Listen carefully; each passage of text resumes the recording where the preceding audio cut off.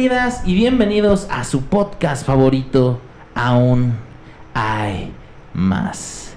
Señor Miguel Barrera, un episodio más a tu lado.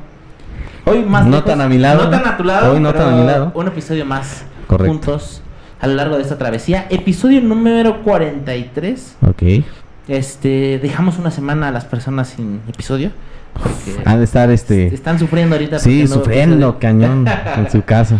Pero, pues ya regresamos y tenemos invitada. Correcto.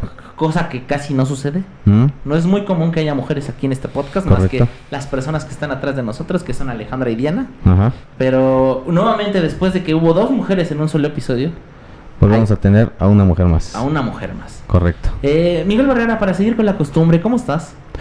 Bien, normal. ¿Normal? Normal. Ahora ¿Qué tal sí. el regreso a clases? Cansado. em, ¿Las lluvias? eh, las lluvias horribles. Me tengo que volví a la rutina de pararme a las cuatro y media de la mañana para llegar a las siete o siete y media. A veces no llegar ni a mi clase como Yo el día de hoy. Así que sí, güey, yo creo que va a acabar saliendo a las dos. Yo creo que llego más rápido por las lluvias caminando Sí. o en bici que en combi, pero bueno. Ok. Eh, pues Miguel Barrera, el día de hoy tenemos una persona, una mujer invitada. Mm, Eh, tenemos a la doctora Jocelyn Nava, que nos acompaña en el centro del podcast. Ajá. Este, Jocelyn Nava, ¿cómo estás, doctora? Eh, el día de hoy me encuentro un poquito cansada debido a la cantidad de pacientes que tuve en la semana, pero súper bien, ¿eh? Lista para que contestar todo lo que me pregunte Ok. Ok. abiertamente. Ah, perfecto, perfecto. Ciertamente. ¿Cuándo eh, fue la independencia de México? No, pues es que tú dijiste que todo, entonces dije, pues, para empezar. para empezar. Sí. Para empezar, tranquis. Algo Este, tranqui. No, no es cierto, pues eh, la, la doctora o Jocelyn, eh, a lo largo le voy a decir Jocelyn porque va a ser raro que le esté diciendo la doctora. Jocelyn es este, es médica, eres médica, médica general, pero te especializaste en Medicina estética. medicina estética, ok. Ajá, se estudian siete años de medicina general y posterior a esto tú tomas un diplomado, maestría en medicina estética. Ok. Eh, esta carrera es por medio privado. Ah, o sea, Únicamente es medio privado, no es público, es medio privado. Ok. ¿Qué, ¿Cuál es la diferencia entre un medio privado y un medio público? Mm, el costo que pagas Ok. O sea, en cada... O sea, en la UNAM hay, no. No, no, como tal, no, no hay como algo que avale públicamente una- un diplomado en medicina estética, pero las escuelas privadas están avaladas por el IPN y por la UNAM. Ah, Ese es la- eh, el aval que te da el diplomado. ok. Órale. ¿En qué año entras? O sea, ¿cómo empieza? ¿En qué año entras a estudiar la medicina general como tal? Y también que nos digas dónde fue que estudiaste. Ah, yo soy egresada de la Universidad Autónoma del Estado de México. Ajá. Yo fui la segunda generación que salió de esa escuela nueva en Sí. Chimalhuacán. Ok. Cabe mencionar que ¿Está ahorita peligroso? Ah, no, órale. Cabe mencionar que era estamos, peligroso. cabe mencionar que estamos al lado del bordo, Ah, ok. ¿no? Ok. Que Hay al una principio gran plaza ahí. hay una gran plaza ahí que es Plaza Jardín. Ah, ándale, justo a Plaza Plaza Jardín. Exacto, es lo más céntrico y lo más novedoso de ahí. Pero este pues fuimos una escuela nueva, una generación nueva como o sea, tú tal. eres la primera generación de ese Yo soy la segunda generación. Ah, La segunda generación, cuando yo entré, pues no era tanta la demanda para poder ingresar. Para entrar a la UNAM y el Poli, pues sí te, pise- te piden pase directo, aciertos, es un poquito más difícil. Por eso era una escuela nueva y realmente entrar, este, en ese entonces no era tan demandante como ahorita, ¿no? Ahorita ya está más complicado entrar a esa universidad. Nada más hay dos sedes de la Universidad Autónoma del Estado de México, en Chimalhuacán y en Toluca. En Para Toluca. medicina general. Claro, orgullosamente del guerrero Chimali. ¿no? Es el guerrero Chimali es lo que hay, es lo más céntrico ahí de... Ay, ay, ay, ay, Yo pensé que el guerrero Chimail era el como.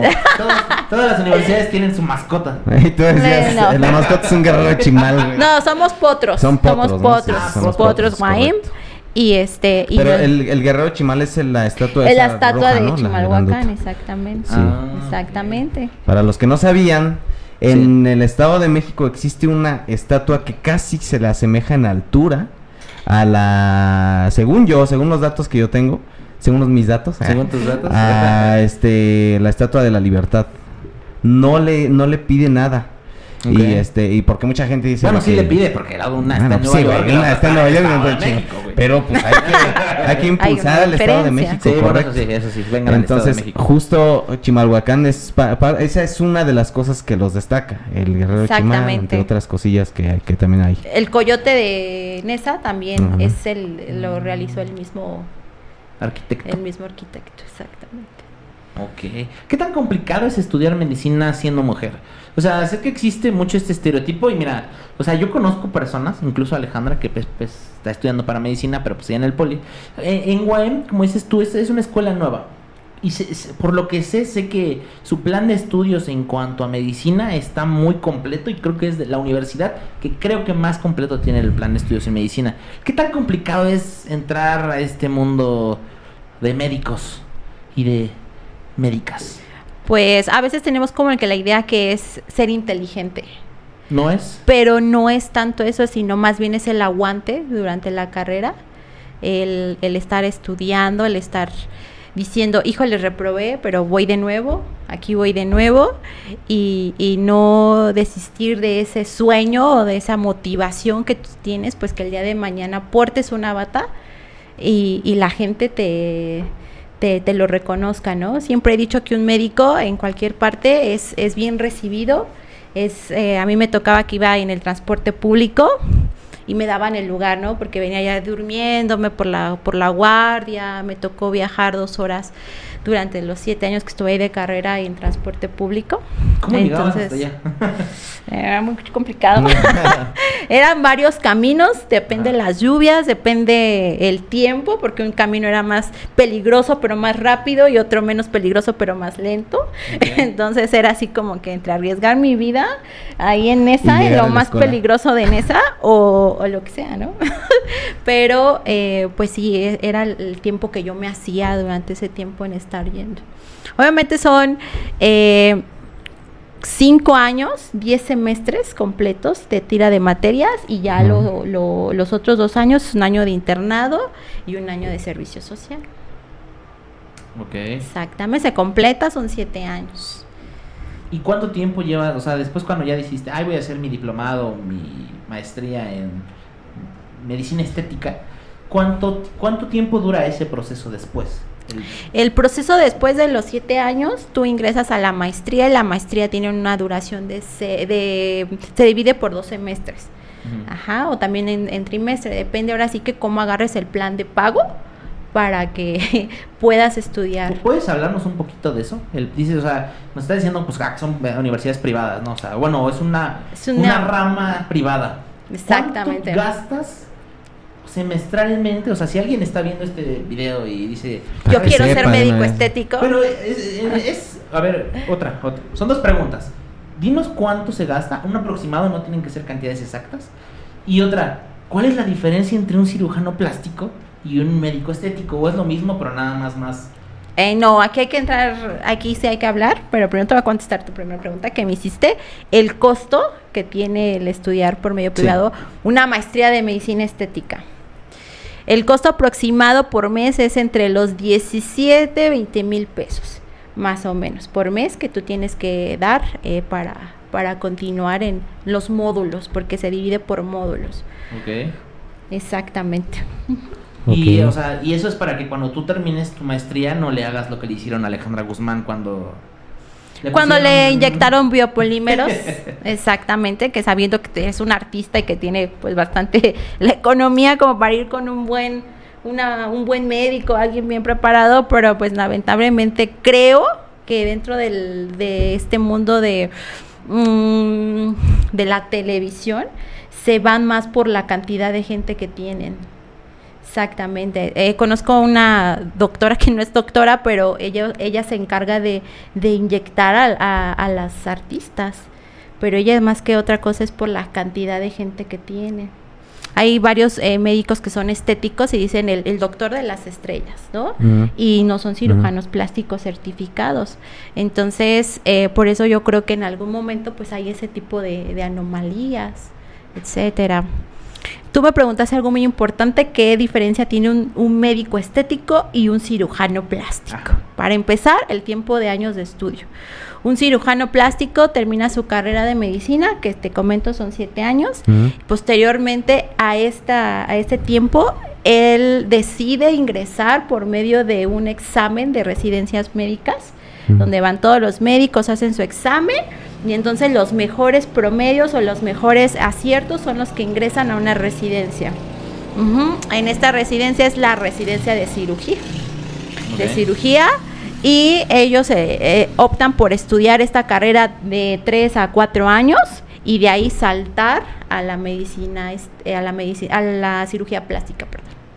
Mm. exactamente y ahí son otros 3 4 años de preparación estamos hablando que cuánto es el promedio en total de estudio en un cirujano plástico Eh, 7 de son 7 de medicina y de ahí 4 de especialidad y otros 3 cuánto es 14 años. Exactamente. 14 Exactamente. años, Ahí la diferencia entre operarte obviamente con un cirujano plástico, que es más caro, a un estético, ¿no? Ok. Ajá, ¿Estás ahorita seguro?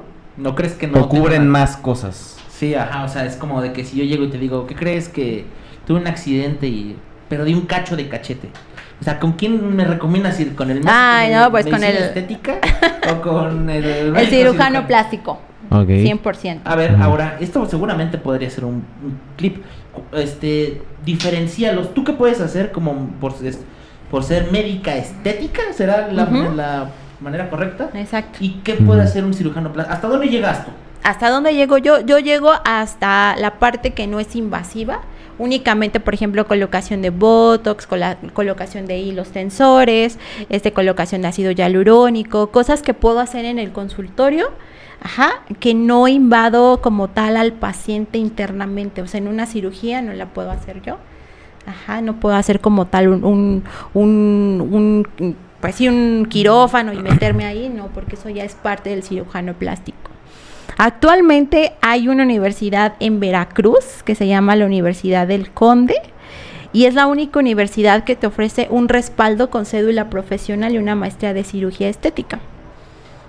Ah, pero eso ya es cirugía estética. Cirugía estética, pero te saltas los años que te comento de de este de, De- cirugía, de cirujano plástico y demás, ¿no? Entonces, una operación o una cirugía de una liposucción con un médico estético, obviamente, pues es más económica. Y obviamente, ¿qué crees? Tienes más gente que el cirujano plástico, ¿no? Exactamente. Entonces, si estamos oscilando que una liposucción con un plástico te sale de 100 mil a 120 mil pesos, con un médico estético, pues el valor es casi a la mitad. 50 mil pesos. Exactamente, aprox. Ajá. Ok, bueno, antes de entrar en precios, este, ¿vas a preguntar algo, Miguel? No, carnal, tú sigues. Aquí yo estoy negando más viendo. Es que. No, este. an- antes de que continuemos más allá de lo de la cirugía, cuando apenas entras, o más bien, ¿cuál fue tu primer acercamiento a la medicina o por qué decides estudiar medicina? Yo decido estudiar medicina porque mis papás me obligaron. Ah, o sea, no fue gusto personal. Eh, sí, pero estaba un poquito desorientada y mi papá me dijo, tú tienes que ser médico. Ok. Eh, los médicos siempre van a ser más que las enfermeras y me metió como que esa idea. Tú no puedes ser enfermera, tú tienes que ser médico. O sea, pero dentro de ti nunca eh, antes, o sea, por ejemplo, a ver, vamos a regresar. A la Escoges- niñez. Escoges carrera a los 18, a los 8 años. Yo me acuerdo que cuando tenía 7, 8 años, no sé si ya lo he dicho aquí. Yo quería, Quería ser, ser policía, futbolista. güey. Quería ser policía, güey. O sea, yo veía. Nadie nunca en su vida. Nadie Yo- yo- nunca yo lo veía dijo. películas, por ejemplo, de policía, o sea, La el de Pedro patrullero Infante. 777, güey, de Cantinflas. Vamos. No, no, no, cierto, algo bien. Y decía, es que estoy haciendo un bien para la sociedad, Mm. según. Y yo me acuerdo que yo le llegué a decir a mi mamá, oye, este, o a mi papá, no recuerdo a quién de los dos, le dije, oye, yo quiero ser policía de grande. Mm. Y me dijeron, pero ¿por qué policía? O sea, o sea, en mi inocencia yo decía, pues es que yo quiero hacer lo correcto, quiero detener criminales, quiero que digan, ay, no, el Creo que lo policía". clásico de un Ah, niño, o sea, o es ser policía, o es ser bombero, este, ¿qué otra cosa? Superhéroe, no sé. Doctor. Do- Doctor, Futbolista. futbolista. Fútbol. Eh, ¿Yo Futbolista. qué crees? Pasó eso, ¿no? Después vuelve a... Sigo creciendo y digo, quiero ser doctor. O sea, me gustaría ser doctor. Mm. Empiezo a crecer.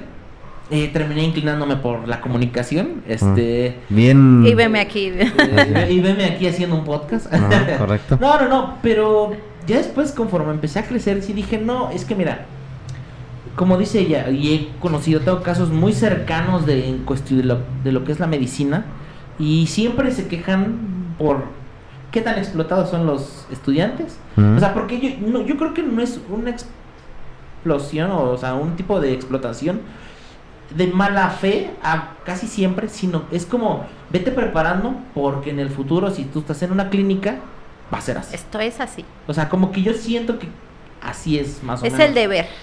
Ajá. Todo estudiante de medicina tiene que pasar por eso, si no, no aprende. Entonces, o sea, como que yo lo, yo, yo lo veo así, ¿no? Mm. Entonces, este, yo dije, no, eh, no, no quiero ser doctor. Desde antes yo dije, no, doctor no. Y aparte otra cosa, creo que yo no sé cómo manejaría una situación en la que alguien se muriera. Yo es algo que cuando, por ejemplo, a- al doctor, al doctor, al, a la Reguín, o sea, a la Reguín, mejor conocido como la Reguín, Ajá. este, cuando le pregunto, cuando hizo su servicio, dice que se le murió, que le tocaba estar donde se moría gente. Y la primera vez dijo que él se había sentido muy mal y que era algo que, una sensación que nunca iba a olvidar, que porque se le murió a alguien y así. Entonces yo digo, o sea, si yo paso en la carretera y veo a un perrito atropellado y digo, qué feo. Ya ver te un estás perrito". desmayando. No, no me desmayo porque no me asusta la sangre. Pero sí es casi como de, mm, no, no, no, yo no quisiera vivir esto con una persona, ¿no? Sí. Entonces, desde ahí dije, no. Ahora, ¿tú qué querías ser de grande, Miguel? Yo que quería ser de grande. Ajá. Ahorita estoy chiquito todavía. Todavía. Este- Eh, Chiquita, perdón. Eh, bueno, me acuerdo que yo de muy morro yo quería estudiar, yo quería estudiar, yo quería ser bombero, o sea, yo quería ser bombero para empezar. Después viene el fútbol ok. clásico y pues ya después viene la música. Ya es cuando ya conozco la música y demás y ya es a lo que actualmente estoy haciendo, ¿no? Y este y aparte pues el turismo, pero fíjate que no, doctor, nunca. Nunca fue. La medicina nunca para mí fue una opción. Más que nada porque siento que yo no tengo... Es que también existe, como dices bien, este estereotipo de que tienen que ser muy inteligentes. Y yo no me considero el más inteligente. Y cuando tenía las clases de química o de biología y sé que co- co- conlleva eso, es parte de la carrera, este, pues no eran mis mejores materias. O sea, Sí. mis No mejores materias... Sí, no. ¿Cuáles eran tus mejores materias? Física, a lo mejor, física sí. Ah, ¿te consideras una Sí, física? bueno, eh, la física básica, ¿no? Que ahí se estudia. De que el plano inclinado, el torno y todo ese pedo. Este. mm, la- el área social, la historia, Eh, todo eso, eso fue lo que a mí me, me llamó, los idiomas. Sí. Entonces, por eso yo ahí me doy cuenta que lo mío no era la parte de medicina, pero tampoco la área matemática. Ajá. O sea, sí. porque cálculo, todo eso, pues ahí fue el problema, ¿no? Entonces, eh, ¿Tú, eras, justo. ¿Tú eras inteligente en la primaria? Es que creo que fuimos a la misma primaria. Creo que, Creo que fu- ¿fuiste sí. a la Benito? Sí. Creo que fuimos a la misma primaria, pero no recuerdo si estabas. eh, ¿Estuviste en la escolta? Eh, sí estuve en la escolta. Siempre fui de las del cuadro de honor, la, la, este, la que se iba a los concursos, ¿no? De inglés, de El física. y. Pero llegó a medicina y medicina me dice, aquí no es nada que ver con lo que, con la inteligencia. No Sí. es agarrar tu librito. De un libro de este tamaño te preguntan hasta lo que viene hasta abajo, así que ni ves. Y En dices, letras "No, chiquitas. Eh, es lo que te iba a preguntar. Digo, bueno, no sé a cuántos les ha pasado. A mí me pasó. Yo también me considero que yo en la primaria, secundaria y demás, y en la prepa todavía, pues me sentía inteligente, ¿no? Por así decirlo. sí. De que nueve acá. ¿no? O sea, Y sí, mínimo ese ¿Con ocho. cuántos? A ver, vamos a platicar un poquito de eso. ¿Con cuántos saliste de la primaria? De la primaria, no me acuerdo bien, pero según yo, como un 9.5 creo, digo. Ah, caray. Buen órale. promedio. Sí, la neta sí. De la ¿Tú? primaria, secundaria igual. ¿Igual? Ajá. Y prepa casi igual también. Ok. ¿Tú, este, Jocelyn? Pues siempre salí con 9, 9.5. En la prepa salí con 9.8. Sí, casi el 10. Ok. Me siento un poco apenado por sus eh, pues es que no, o sea, yo lo he platicado muchas veces y pues no, nunca fui así como... Vas, O sea, a no- decir, vas a decir, la calificación no te define. Es No, lo que no, no. diría alguien que no saca buenas calificaciones. Eh, no ¿no? porque yo, o sea, salí como con 8.6, 8.7 de la primaria, creo. Pero es que, o sea, creo que nunca di más. O sea, siempre fue como de, es suficiente hasta ahí. O sea, Mm. como que nunca dije, ah, o sea, porque creo que si me lo hubiera propuesto cuando me lo propuse, que yo creo que fue mi mejor año estudiantil en la, en la primaria, que creo Mm. que fue tercero, hasta Mm. reconocimiento me dieron. O sea, pero fue de, ah, pues vamos a hacer esto. Todo lo tienes en tu pared ahí en tu No cuarto. fui por él porque me fui al, al pueblo de mi papá. Pero sí, o sea, sí era una cuestión más de cosas. Si me lo propongo, sí. Porque he, visto muchas veces que eso del cuadro de honor, de los reconocimientos y eso, es un. No sé si decirle un síndrome o es un. Es un trauma a largo plazo. O sea, sí hay, sí hay dentro de, a lo mejor de las generaciones que van a decir, es que yo nunca estuve ahí, es que porque yo nunca fui el del cuadro de honor, o sea. Eh, no, y es que ahí va, ahí va lo que yo iba a decir. Que en la primaria, secundaria, prepa puede ser del cuadro de honor y lo que quieras. Sí. Pero llegas a la universidad Y y la universidad te hace sentir estúpido, así de Sí. fácil. Más estúpido. Y, y- y ahora, y en medicina, me imagino que es como de, te da todo este golpe por Ah, toda claro, esta es un golpe 360, un cambio 360 de sacar 10 a sacar 6, 5. Hasta reprobar. Claro, me fui a, a extra en tres materias. La recursé por doble vez Ok. El primer año, ¿no? Y me dije, aquí, de este día que reprobé estas tres, estas tres materias y me hicieron recursarlas, nuevamente otra vez un semestre, Sí. no vuelvo a pisar un extraordinario. Ya de ahí me empecé a, a fletar, ¿no? Y, Sí, y sí, olvidarme a irme de fiesta y Sí, como eh, tener un equilibrio en mi vida, sí, ¿sabes? sí eras de irte de fiesta? O sea, sí tenías... Claro, ah, tu lado oscuro, o- Tu ahí, lado oscuro, claro, ahí afuera había eh, antritos y siempre pues, entre compañeros, no, que vámonos, que vámonos, que vámonos. Y al final te das cuenta que pues eh, en un examen estás solo. Y si no estudiaste, pues te va mal. que hay que Sí. tener ese equilibrio, ¿no? O sea, Sí, claro. tampoco no todos estudiar, ¿eh? O sea, Sí, claro. hay que tener, porque también es parte de la salud mental, Sí, claro. Sí, sí, sí. tener un equilibrio en tu vida. Bueno, Sí. pero ah, para que nos acabes de contar, A porque nos desviamos un poquito, este, eh, pasas por la primaria, la prepa, ¿en qué punto, bueno, ya tus papás te dicen, ¿no? ¿Qué es lo que tú querías estudiar? ¿Qué otra cosa a ti te atraía? En realidad, pues yo no tenía como tanto el conocimiento. Dije, voy a ser psicóloga eh, de nutrición. A veces, pues tú quisieras ser médico, quisieras hacer algo, pero si la escuela no te acepta, es claro. frustrante. Sí. Y vivir en frustración es horrible. ¿no? Porque no eres feliz. Sí. Y si tú quieres algo, pues vas, ¿no? Dices, soy médico, aunque sea en privado, ¿no? En la Unitec, en el TEC de Monterrey, no sé. Hay veces que no hay la posibilidad económica. Sí, Claro. claro. no, o las circunstancias simplemente pues no fuiste aceptado en la IPN, en la UNAM, ¿no? Sabes que medicina está muy demandado, ¿no? Sí, Aunque no, sí, en el primer sí. semestre se sale casi la mitad, Sí. y ahí entraron y así, sí, no, aquí no soy, Ya mejor me voy, ¿no?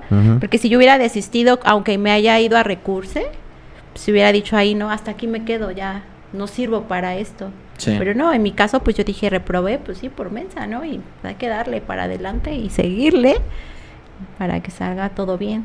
O sea, ¿pero crees que es más una cuestión de pasión cuando estabas dentro de, de que, bueno, ya reprobé tres veces, pero vamos a seguir? ¿O fue más una cuestión de ego? De, pues es que, o sea, no sé, yo soy chingona y yo puedo hacerlo. Exacto, es qué? esa parte del ego. ¿Era ego o era pasión? Estuviste nada de aventarte la frase de Jenny Rivera. Exactamente. es pasión cuando me encuentro con los pacientes. O sea, encontrarte con los pacientes es cuando tú ingresas a los hospitales, a los centros de salud, y es cuando tú dices, esto es para mí, ¿no? Esto, Sí. yo, esto es lo que, lo que debía de pasar en mi vida. Yo siempre he dicho que eres no lo que quisiste, sino que las circunstancias de la vida te llevan a, a un punto, a un punto y, y eso es lo que, lo que tú decidiste. Entonces, para mí actualmente ser médico es una satisfacción muy grande, un consuelo para mí y que pues en estos años que he estudiado eh, tengo más contacto con los pacientes que con mi familia. Tengo mucho contacto con mis pacientes y a mí me llena de satisfacción porque no he dejado la medicina general. Aunque la medicina estética me deja más, económicamente hablando, Claro. la medicina general me llena mi, mi, mi estabilidad emocional. O sea, el ver a la gente que sana, que a los bebecitos que los vas y los guías, que detectas enfermedades tempranas, que refieres a los pacientes. Todo eso es como que, que dices, yo soy médico, ¿no? De ahí critican mucho la medicina estética porque dicen, esa no es una carrera, esa no es una residencia, no sufriste, o sea, Mm. relativamente en una privada no te hacen desvelarte, o sea, ahí te tratan bien, ¿no?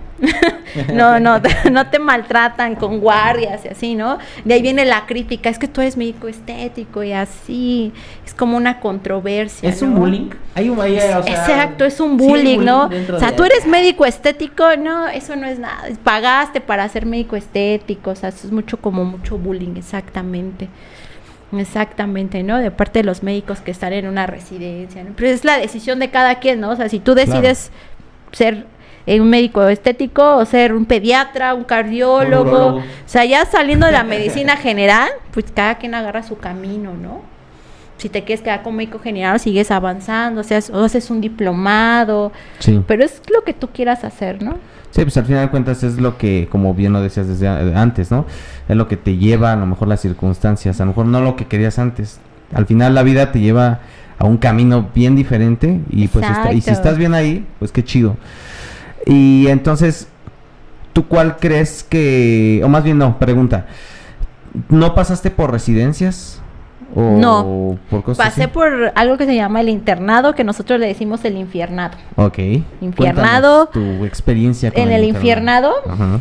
Bueno, el internado es una experiencia de un año donde se hacen guardias de 36 horas seguidas. Es cuando, eso, eso es en, en UAM, cuando tú eres para parte de Eh, en todo el todo médico pasa por ese infiernado. Dentro de tus siete años. Ah, ok, ah, ya, ya, ya. O un año, exacto. No, dentro de tus siete años es un año de internado. Y todo médico sabe qué es eso. Ah, ok. y que tiene que pasar por eso. Aquí eh, ah, escoges un hospital, ese hospital es donde vas a hacer tu internado durante un año y vas a estar, como su palabra lo dice, internado y a la disposición del servicio donde tú te encuentres rotando. Se, eh, por cada, cada mes tú rotas en un servicio, pediatría, urgencias, ginecología, ajá, entonces vas y pues como que haces esa parte de, de tu, de tu internado. Ujú. Son guardias de 36 horas y este y te quedas ahí a dormir en el hospital. Ahí comes, ahí vives, ahí duermes. Si es que duermes, porque hay veces que el servicio no lo amerita, por ejemplo, urgencias, es estar despierto ahí. Que llegue el señor de la sonda a las 3 de la mañana y te orine en la cara, porque me pasó. Ok.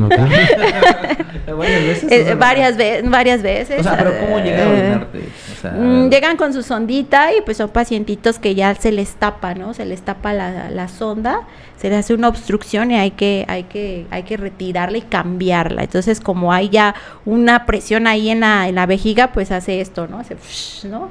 Sale a presión. Entonces, le quitas la sonda y Y todos ahora sí. exacto. ¿Vomitaste la primera vez? ¿Qué te pasó? Eh, no, porque te acostumbras, ¿no? Otro caso de otro paciente llega y era un indigente, eh, vivía en la calle el paciente y, y llega con, con una miasis.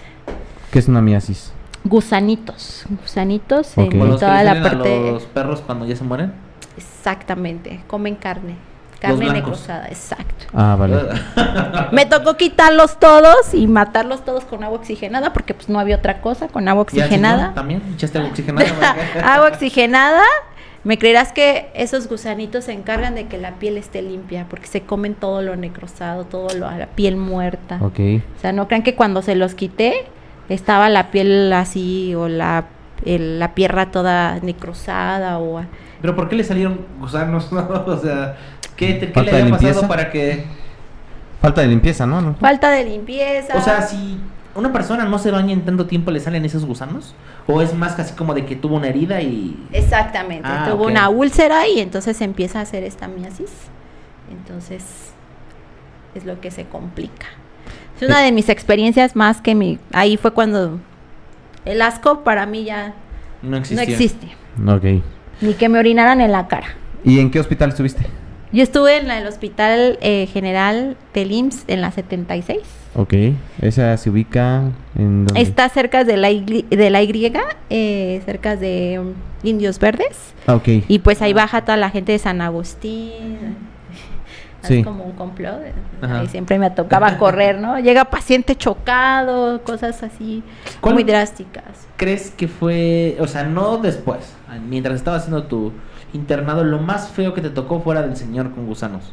Lo más feo que dijiste, "Eh", o sea, donde murió. ¿Cómo pasó esto? Ajá, donde murió, no sé si decir tu, bueno, no tu inocencia, porque eso seguramente fue en otro momento, pero. o sea, pero donde dijiste, ¿qué? ¿Cómo? ¿Qué? No, no, o sea, ¿qué? ¿Qué es esto? O sea, ¿qué? O sea, ¿cómo, ¿Cómo sucedió esto? cómo sucedió esto? Lo más así que digas, la neta, eso sí, todavía en las noches me quedo dormida y tengo pesadillas con eso. Mm, ver a mis pacientes de VIH en etapa terminal. Ver a un paciente que muere cada día es lo más feo que hay. O sea, el VIH actualmente ya hay muchos retrovirales que tienen un buen efecto y prácticamente están como si no tuvieran VIH. Mm. Pero yo estuve en la clínica de, de VIH y yo veía cómo el pronóstico pues era muy malo, ¿no? Para mí ver niños contagiados de VIH por violación era lo que más me dolía. Leer, leer los expedientes clínicos de los pacientes, la nota del psicólogo era lo que más me impactaba ver a los pacientes, ¿no? Esa era, la clínica de VIH para mí fue mi mayor trauma de ver. Nos llevaban a los reos con los custodios, entraban con armas y todo, y este iban contagiados de todo. VIH, este mm, eh, de todo, de todo. Verrugas genitales. Ok. Entonces sí era un, un show ahí. Y, bastante impactante para mi vida. Salía yo llorando los primeros ¿Sí? días. Claro, el dolor humano y cuando dices, dices, pobres personas, ¿no? Es- no es lo mismo cuando un paciente ya por edad o por enfermedad, pues se espera en etapa terminal o se Claro. espera, ¿no? Es la ley de la vida y el ciclo de la enfermedad, ¿no? En algún Sí. momento llegar no a la, a la salud nuevamente, sino más bien llegar a la muerte, lamentablemente, ¿no? Es el ciclo de todo ser humano, pero cuando ese ciclo se altera y llega de inesperadamente, pues es cuando, cuando uno como médico dice, híjoles, duele. Ujú. Ok. Y, por ejemplo, también un punto clave, al menos que yo sé, a lo mejor de, de los médicos o los que estudian medicina, es el tu primer paciente que, que falleció. ¿Lo recuerdas? Exactamente. Eh, cuando estás en el hospital, fallecen varios pacientes. Claro. Pero hay pacientitos que, que te dejan huellita en tu corazoncito, ¿no? Sí. Y dices, híjoles, no, sí, sí, sí pesa la muerte de los pacientes, Sí. ¿no? Pero- Y llega un momento en el que también dices, pues ya ni modo, ¿no? Porque si tú te cargas con todo eso, llegas súper cansado, súper cansado, súper mal emocionalmente. Y ya después les puedo decir que tomar un trazo donde el paciente ya está finalmente con establecida su muerte, pues ya es prácticamente algo normal, ¿no? O sea, en una noche de guardia se me morían tres, se me morían a los tres, hay que tomarles trazo a la hora que fallecieran, ¿no? Entonces también dar la noticia al familiar es un poco complicado. Había ¿Te también milagros. dar- ¿Daron muchas noticias? Claro. ¿Eras tú siempre la que iba? No. No, no, no, pero había arriba de mí los médicos que se quedaban dormidos en la noche y tú vele a decir al paciente que, que ya su familiar falleció, ¿no? Te toca a ti. ¿No? Entonces, ¿Cómo llegas? Que eh, justo. Justamente en nuestro lapso eh, de, de capacitación para todo esto, eh, nos dan esa plática de cómo ser sensible con el, con el paciente, cómo dar una noticia de Mm. cáncer, de pronóstico, de todo. Pues sí es complicado, ¿no? Porque a veces no sabes si te vayan a golpear, si te vayan a, si se vayan a desmayar, o sea, la noticia para cada persona pues es diferente. Pero si algo es bien cierto es que la persona ya sabe, ya vivió un duelo previamente. O sea, si ve a su familiar ya muy mal, ya empieza a vivir ese duelo de que en tarde o que temprano va a morir.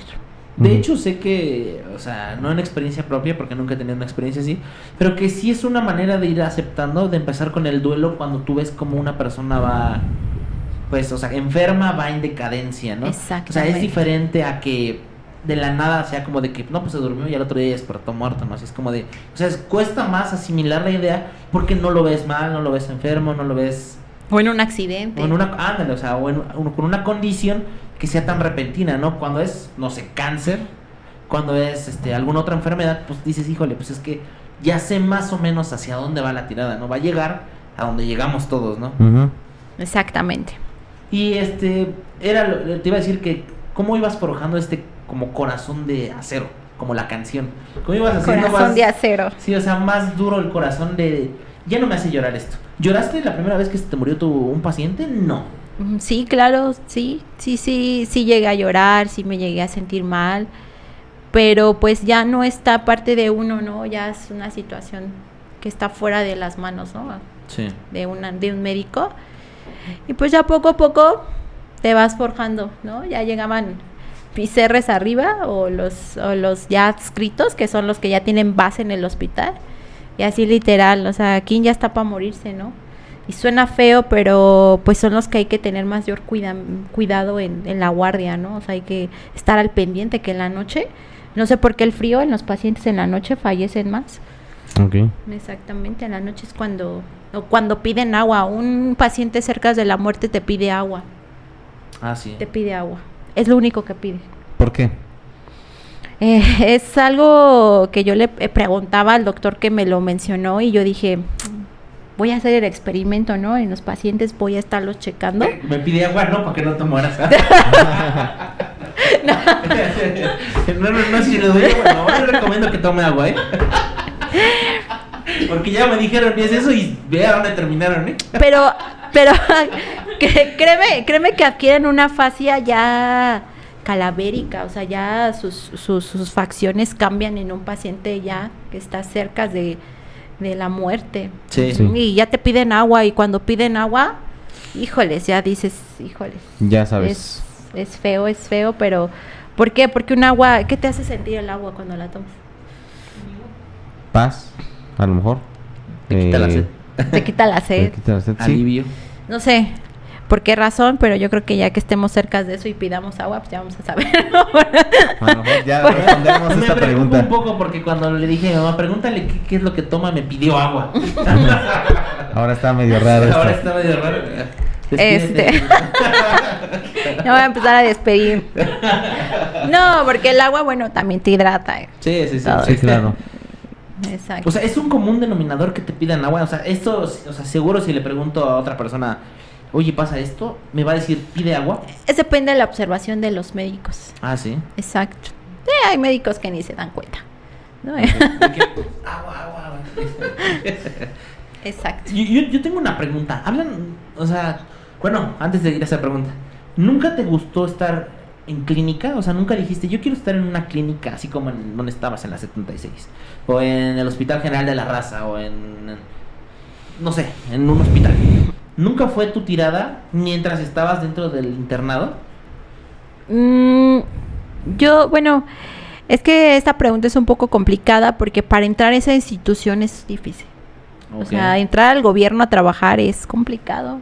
Hay que tener palancas, hay que tener... ¿Lo viviste? eh, O sea, sí fue así como de... ah, pues Sí, es actualmente igual, o sea, entrar a trabajar hay que tener especialidad, hay que, hay que hacer ya como antigüedad, conocer bien con la gente que te va a decir, oye, ¿sabes que se abre una plaza en, en tal hospital para que entres?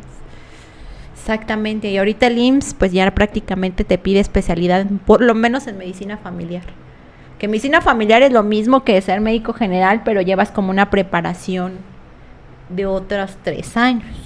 ¿no? Entonces los médicos en ahí en el IMSS pues todos son especialistas. Antes sí entraban médicos generales, pero ahorita sí ya te están pidiendo forzosamente una especialidad para poder ingresar a trabajar ahí. Exactamente, ¿Les igual. bien? Desconozco más o menos el sueldo, pero las prestaciones y los las ¿Los turnos? los turnos y eso, pues sí. Nos va bien. La medicina siempre ha sido mal pagada por culpa de otros médicos. O sea, es más fácil ir al CIMI. ¿Cuánto cobra el CIMI en una consulta? Como 50, 50 pesos. 50 pesos más o menos, sí. Imagínense. Es, eh, sí, es y te obligan a recetar, ¿no? A veces. lo que. lo Pero que- y a ellos, a los que están así en consultorios de ese tipo, ¿cómo de llamarlos? ¿Populares a lo mejor? ¿Por el nombre o por lo que sea? ¿Tienen aparte un sueldo? ¿O por qué Eh, los centros de salud eh, son menos, eh, ahí sí ya entraste, ahorita por ejemplo salió la convocatoria de médicos para entrar por IMSS Bienestar, cabe mencionar que el ISEM ya no existe, ya es todo IMSS, todo ya Ah, es ok, IMSS.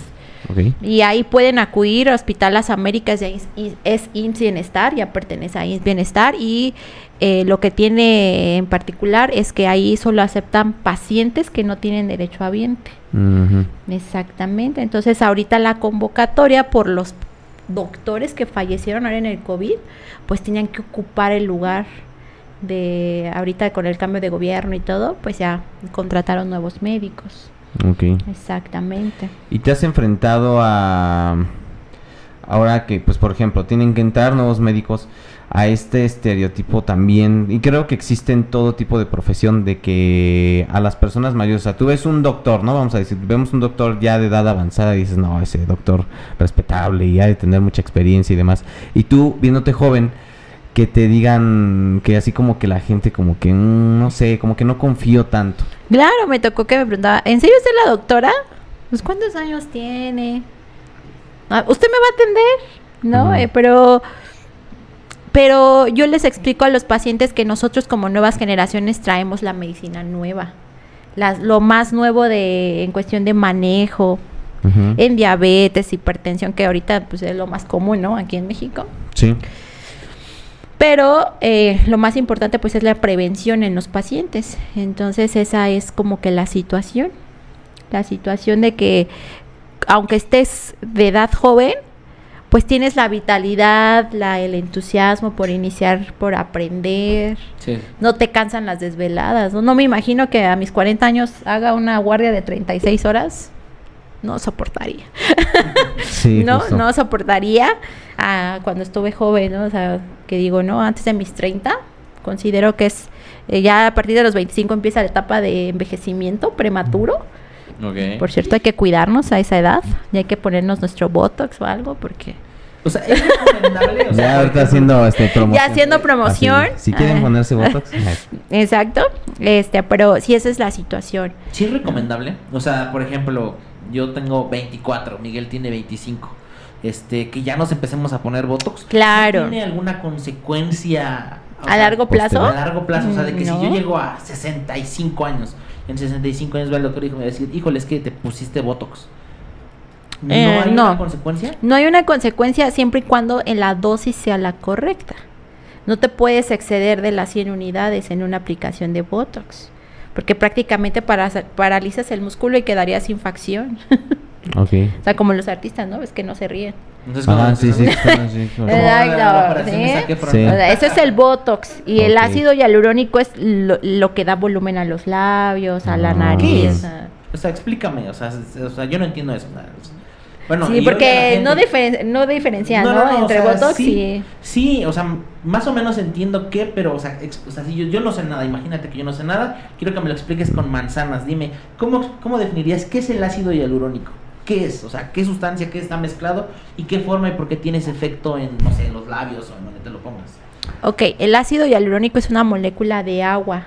De hecho, el efecto puede ser reversible con una enzima que se llama hialurinasa. Ajá, tú colocas la enzima y colocas el ácido y se deshace, lo hace agua. Hay densidades, una densidad media, baja o alta. Depende dónde tú te lo coloques, es la densidad que te recomienda el médico. Solo que hay que saber la anatomía facial, porque ahora pues ya hay que en el spa, que donde te hacen las uñas te hacen botox Ah, ya. y cosas de esas. Este, a veces se les hace fácil, ¿no? Ah, pues le voy a inyectar, ¿no? Pero el ácido hialurónico también te lo venden y es eh, biopolímero. Y el biopolímero es un derivado como plástico. Entonces, obviamente no es ni absorbible por tu cuerpo, ni tampoco aceptable por tu cuerpo. Entonces, ¿qué va a pasar? Se va a hacer como bola dura. Y la va, el cuerpo la va como que a, a- a abrazar con un tejido donde se hace, se hace duro. Y ese, es, esa, ese plástico, que es los biopolímeros, un derivado, no lo vas a reabsorber nunca. ¿Qué pasa si te lo inyectan en una arteria importante? Se necrosa la piel porque ya no llega riego sanguíneo, ya no llega oxigenación a ese punto y entonces sucede una necrosis. Me han llegado pacientes con necrosis, con principios de necrosis, pero ¿qué hay que hacer? Aplicarles hialuronasa inmediatamente para deshacer el efecto del ácido hialurónico. Pero si me llega una paciente con necrosis y trae ¿La biopolímero, ¿Cómo se ve? O sea, ¿cómo llega un paciente? hay, hay, hay pasos, hay pasos y tú lo debes de detectar inmediatamente para Sí. que luego, luego canalice al paciente y empieces con el, con todo este manejo. Pero mm, en sí, en sí, la necrosis va por pasos. Por eso al paciente, como médico, tú tienes que citarlo y estarle diciendo las reacciones que pudiera llegar a tener y que te avise, que te avise Sí. inmediatamente.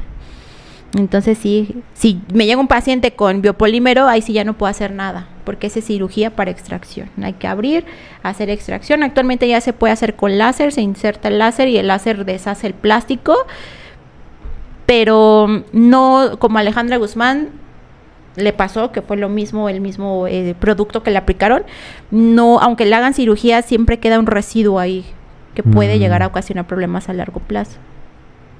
O sea, ¿esas ¿cuáles son las consecuencias en el cuerpo? O sea, con ese, si se forma plástico, si no se va a atender, ¿qué le pasa? O sea, ¿cómo se ve? ¿Se ve negro? ¿Se ve...? Se siente como una voladura. Ajá. como una voladura, si fue en un espacio donde no hay una arteria importante, porque si fue en una arteria importante, ya empieza a haber necrosis, ya se empieza a ver enrojecido, con puntitos este blancos. ¿Se puede morir? No, no es para tanto. Mm, no es no es lo ideal porque si se detecta a tiempo, pues se dice el paciente, oye, ¿sabes que me inyectaron los labios? Pues ya se ve como una bola, ya se ve algo feo, pues se detecta a tiempo y hay que ingresarlos a cirugía. Sí. ¿no? No es una arteria importante, ¿no? No es una arteria o una vena importante, pues no, no llega más si tú te detectas a tiempo. ¿Y cuando les empieza a pasar eso, les duele? Ajá, sí, el, el biopolímero en los labios duele, en las pompis también duele, da temperatura. ¿Por qué da temperatura? Porque es algo que tu cuerpo está eh, como que diciendo, esto no va aquí. Es como una Mm, defensa, un mecanismo de defensa. Ok. Eh, entonces, digamos que es más bien, o eso es lo que le pasó a Alejandra Guzmán. Exactamente. O sea, eso Exactamente. fue lo que le pasó. Exactamente. ¿Y por qué decían las revistas de chismes? O sea, eso ya tiene años, ¿no? O sea, yo Ya, creo ya que tiene como buen 10 rato. años más. Decían, es que le inyectaron aceite. Y siempre yo no he oído hasta la fecha que digan que no es aceite lo que le inyectaron. ¿Por qué dicen que era aceite? ¿Y si era aceite? Hay pacientes que sí se inyectan aceite, no, sobre todo los trans, sí se inyectan aceite. ¿Y eso que puede traer lo mismo o algo Eh, peor? lo- es peor, es peor porque si llega a necrosar. Necrosar es muerte de tejido. Ajá. Muerte de tejido ya no se recupera. Y hay que, Hay que hacer injerto, hay que hacer cirugía, hay que... o en los peores casos, pues, este, quitar la... esa- esa Exactamente, la situación es que si te llega una infección a, a hueso, de hueso se pasa directamente a todo el torrente sanguíneo y hacemos algo que se llama como sepsis. Ok. Sepsis es igual la infección en todo tu cuerpo. Entonces ya de una infección chiquita pues ya se hace más grande. Pero aún tienes posibilidades de vivir. Depende de tu organismo. ¿Ah, sí? Depende la, la evolución del paciente. ¿Desarrolla una enfermedad diferente? O, o, o sea, ¿desarrolla una enfermedad, vaya? ¿O simplemente ese es el procedimiento y ya? O el Mm, proceso, mejor dicho. Ese es el proceso, ese es el proceso, pero igual tengo pacientes trans que viven con biopolímeros esperando pues las complicaciones a futuro, porque las complicaciones no pueden ser a la semana, pueden ser al año, pueden ser a los seis meses, depende de tu organismo. ¿Y regularmente dónde se, que se inyectan, se meten biopolímero? O sea, ¿qué, ¿dónde es? O sea, ¿dónde es el común de los pacientes? Las zonas Ajá. en los glúteos es más común, en los glúteos, en los glúteos, en los labios, en la cara como Lead May. Ah, ok. Mm, vale. ¿Sabes qué le pasó a ella? O sea, cuando estabas haciendo tus prácticas les dijeron, no, pues a Lin May le pasó esto. Lo agarran como ejemplo, güey. De, no bueno, es que van los pacientes y me dicen, doctora, no me vaya a dejar como Lin May. Es que me dicen que me van a dejar como Lin May o como Ninel Conde o así. No, se le explica al paciente que hay algo que se llama armonización facial y la armonización facial precisamente se encarga de una armonización de rostro en el paciente de tal manera que no se vea exagerado, ¿no? Se vea armonioso, bonito, de acuerdo a sus facciones. Mm, Bueno, nadie es perfecto, tenemos la cara chuequita, tenemos que un labio más grande que el otro, porque pues nuestra, nuestra belleza perfecta sería como que un, un espejo, ¿no? Entre derecho e izquierdo. Pues eso Sí. no pasa. Entonces, con la armonización facial, eso es lo que se busca en un paciente, ¿no? Hay algo que se llama dismorfia facial o corporal y la dismorfia facial o corporal es lo que hace que el paciente ya caiga en esta parte de la Sí, o sea, que se vea distorsionado. se ve. exacto. Pero- ima- imagino que Lin May fue como de que agarró y le dijo a su doctor, no, ponme aquí y acá o cosas así. Exactamente. Porque obviamente el doctor, bueno, cre- quiero creer que el doctor sí fue como de que no, mija, como que ahí no. Exacto. Anteriormente, pues esto no estaba mucho de moda. Ahorita ya sabes que en cualquier lado ponen ácido hialurónico y botox. La competencia es tal por mayor. Yo tengo mucha competencia. Ah, Pues ¿sí? Yo no lo veo así. Yo no lo veo así. Yo lo veo como mm, como una con mis colegas oportunidad de aprender de ellos porque también pues Sí, claro. aparte del diplomado tengo que ir con máster con a las al- a los congresos de medicina estética y todo esto como para actualizarme pero ahorita lo que en sí nos preocupa pues es de que ya cualquier persona hace esos procedimientos, ¿no? O sea, ya dan capacitaciones a cosmetólogas, a masajistas. Entonces, pues es más económico con ellas, Sí. ¿sí? Las pacientes van con ellos, ¿no? Sí. Y ya vienen con nosotros con complicación. Exacto, sí. Como les dan más chamba, ¿no? Sí.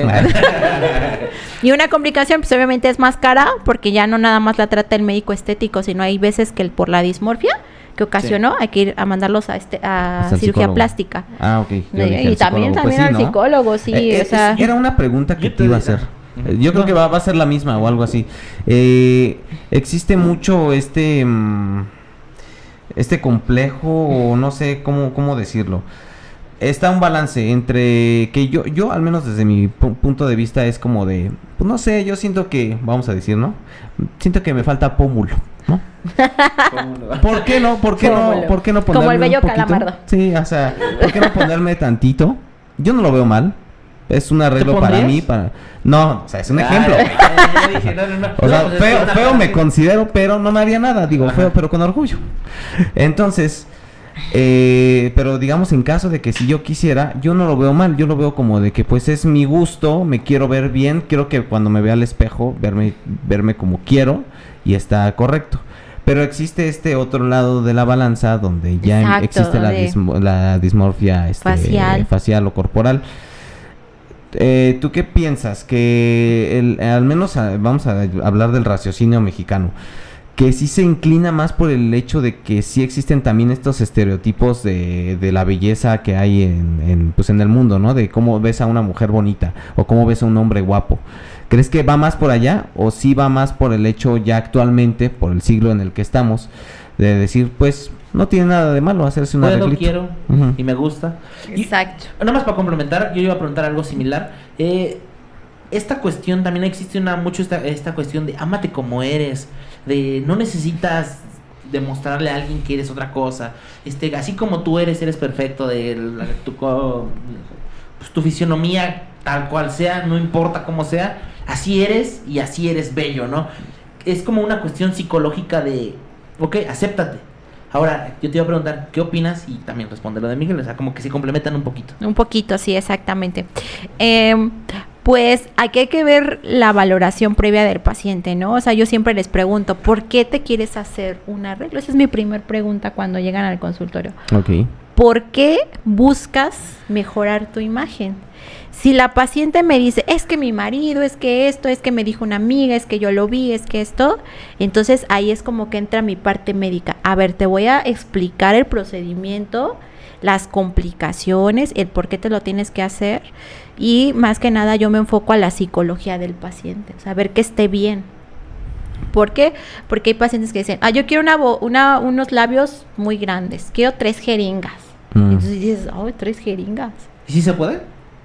Eh, no, No. no se puede pon- colocar más de, de un mililitro, que es lo que tu cuerpo acepta. Ya tres jeringas, ca- eh, pues caes en, en una negligencia. No, no se puede hacer eso. Habrá quien lo hace, pero por mi parte médica yo no pongo más de, de lo que yo le indico al paciente o que le recomiendo. Precisamente por esta dismorfia, esta parte. El acéptate como eres, yo creo que ya depende de cada opinión subjetiva del paciente, cada persona Mm. Sí. Y que no caemos como que en la crítica, ¿no? O sea, Claro. si, tiene, si te sientes bien así, está perfecto. Si eso te hace sentirte segura de ti misma como mujer, aumenta tu autoestima, este, te ayuda a, que tú te expreses mejor, te veas mejor, evitas las críticas. Por ejemplo, los artistas se tienen que hacer arreglos, quieran o no, ¿no? Porque claro. ya ahí te están con el Twitter, ¿no? O sea, ya se ve viejo, ya se, se ve cansado, ya se ve. Entonces, pues sí, ¿no? Si tú das como una imagen al rato tú diga, no, pues es que ya se te ve aquí como que. El caso de Pedro Fernández. el caso de Pedro, Fernández, sí, cambió muchísimo. Mucho porque está así. Así, o sea, tiene 55 años y el vato está de que viene estirado. y otra cosa, o sea, no sé, ah, yéndonos un poquito más para allá. Zac Efron también, le, cuando hizo su cirugía eh, facial, le criticaron mucho de que el vato se hizo una cabeza olmeca, casi, casi. sí, sí, sí. Y o sea, hasta ni podía sonreír, ¿no? Porque estaba como que así. Pero, o sea, por ejemplo, ahí, ¿qué es lo que le pasó a Zac Efron? O sea, sé que como que lo que se hizo fue por cuestiones de que iba a filmar una película que donde iba a ser un luchador, que tenía un rostro así. Y ya después se lo quitó y ya se ve un poquito más chavo porque se aseñoró mucho con esa, con esa cirugía. Y, y es que sí es muy común, o sea, es muy común que salga mal. O sea, no tengo un dato exacto, pero o sea, sí es como seguido ponen, no sé, en Instagram, me ha tocado ver de algún actor, artista, de que se fue a hacer una cirugía con tal médico cirujano y la se murió. O en las noticias también hubo un tiempo, yo creo que ahí por el 2007, 2008. Había mucha muerte. Donde había mucha muerte porque se iban a hacer estas cuestiones de cirugías estética, ¿no? Entonces, este, ¿por qué era tan común eso? O sea, no era como, y bueno, y hasta la fecha no hay, como dices tú, no hay una rama dentro de una escuela pública donde se pueda hacer eso, o que no sea el proceso de 14 años que es para ser médico cirujano, ¿no? ¿Por qué? ¿Qué había ahí detrás de eso? O sea, desde, al menos desde como tú lo ves. No sé si te, bueno, evidentemente te tocó, pero pues tú qué opinas. Ok, bueno, cualquier procedimiento, por muy mínimo invasivo que sea, sean inyeccioncitas, tiene una probable complicación. No estás exento mm. de que salgas alérgico al Botox ¿no? O que salgas alérgico al, al, componente que se te colocó. O sea, a lo mejor a tu amiga le cayó bien y a ti pues te fue mal, ¿no? Hasta el mejor cirujano pues le ha pasado alguna complicación, alguna, algún dato no esperado dentro del paciente, pero tú por eso firmas un consentimiento, ¿no? Estás consciente que es una invasión a tu cuerpo, que no lo necesitas, porque es algo que no lo necesitas, estás bien, estás funcionando, es algo que, que sea debido a muerte, es porque tú te quieres ver bien y estás consciente de las probables complicaciones, ¿no? O sea, tú cuando firmas un, un consentimiento, claramente dice complicación, necrosis, infección y muerte. O sea, tú lo firmas y estás consciente que así como todo puede marchar súper bien, te puedes desangrar en la cirugía y pues lamentablemente llegan sucesos así, ¿no? O que no quedaste como tú lo esperabas.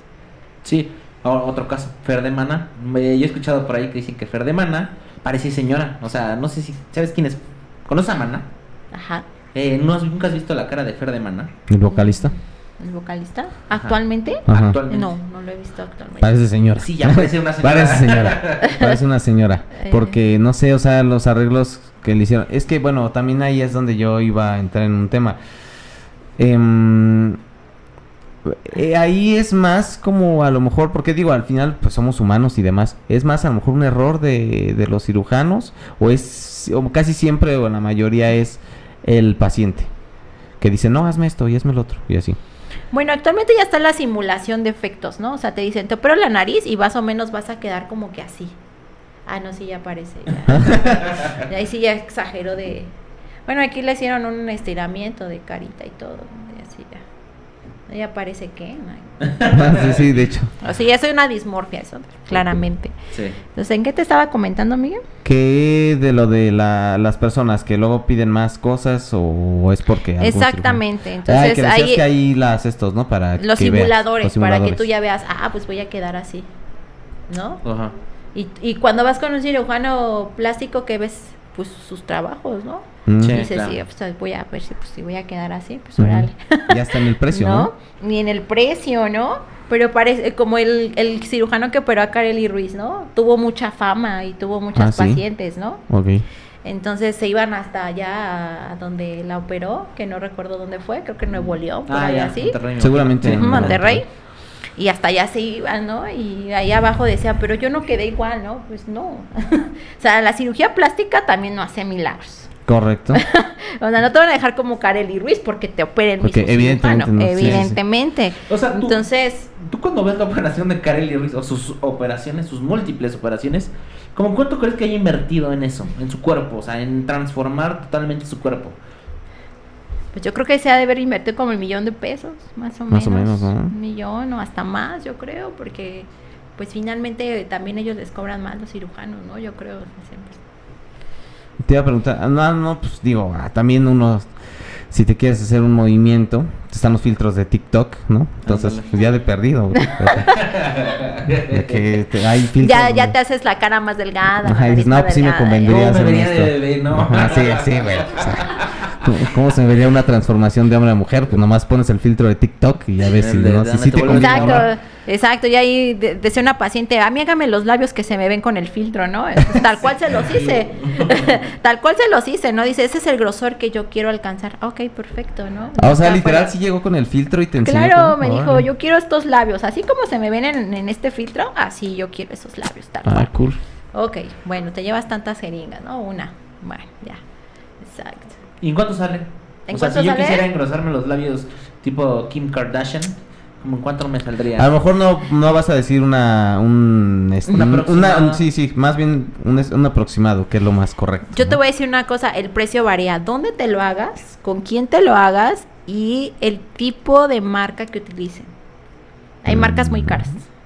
Hay marcas muy caras, pero pues son las mejores y las primeras que salieron de ácido hialurónico. Correcto. Cuando tú dices, no, pues yo traigo tal marca, ah, es caro. ¿no? Ya o sea, es como los sabemos, ¿no? perfumes. Sí, por eso yo a mis pacientes les digo, esta es tu caja que yo te coloqué. Tú vas con otro médico, ¿sabe qué? Yo hace un año me coloqué tal tal marca, ¿no? ah, o sea, sí Este, tiene que guardar la cajita de lo que le Claro, o sea, cualquier médico que te haga te tiene que dar el nombre de tu del ácido hialurónico que te colocó, porque ácido hialurónico hay muchas marcas. Buenas, malas, regulares, por registro de Cofepris. ¿Y cuál y es? cuáles y otras pues no tienen registro de Cofepris, sobre todo las que vienen de Corea. O sea, Uy. hay importaciones que no tienen ni registro y tú ves el ácido hialurónico está súper mal, ¿no? Llega una paciente y me trae su ácido hialurónico que compró en Mercado Libre y me dice, ¿cuánto me cobras En por Shopee. Ajá, ¿cuánto me en Temu, no? El Temu. lo que pedí, lo que llega. el grupo de ventas y compras Exacto. ¿no? Me dice, ¿cuánto me cobras? Nada más por la colocación, ¿no? Y le digo, no me lo tomes a mal, pero yo no puedo colocar un producto porque a mí me comprometes.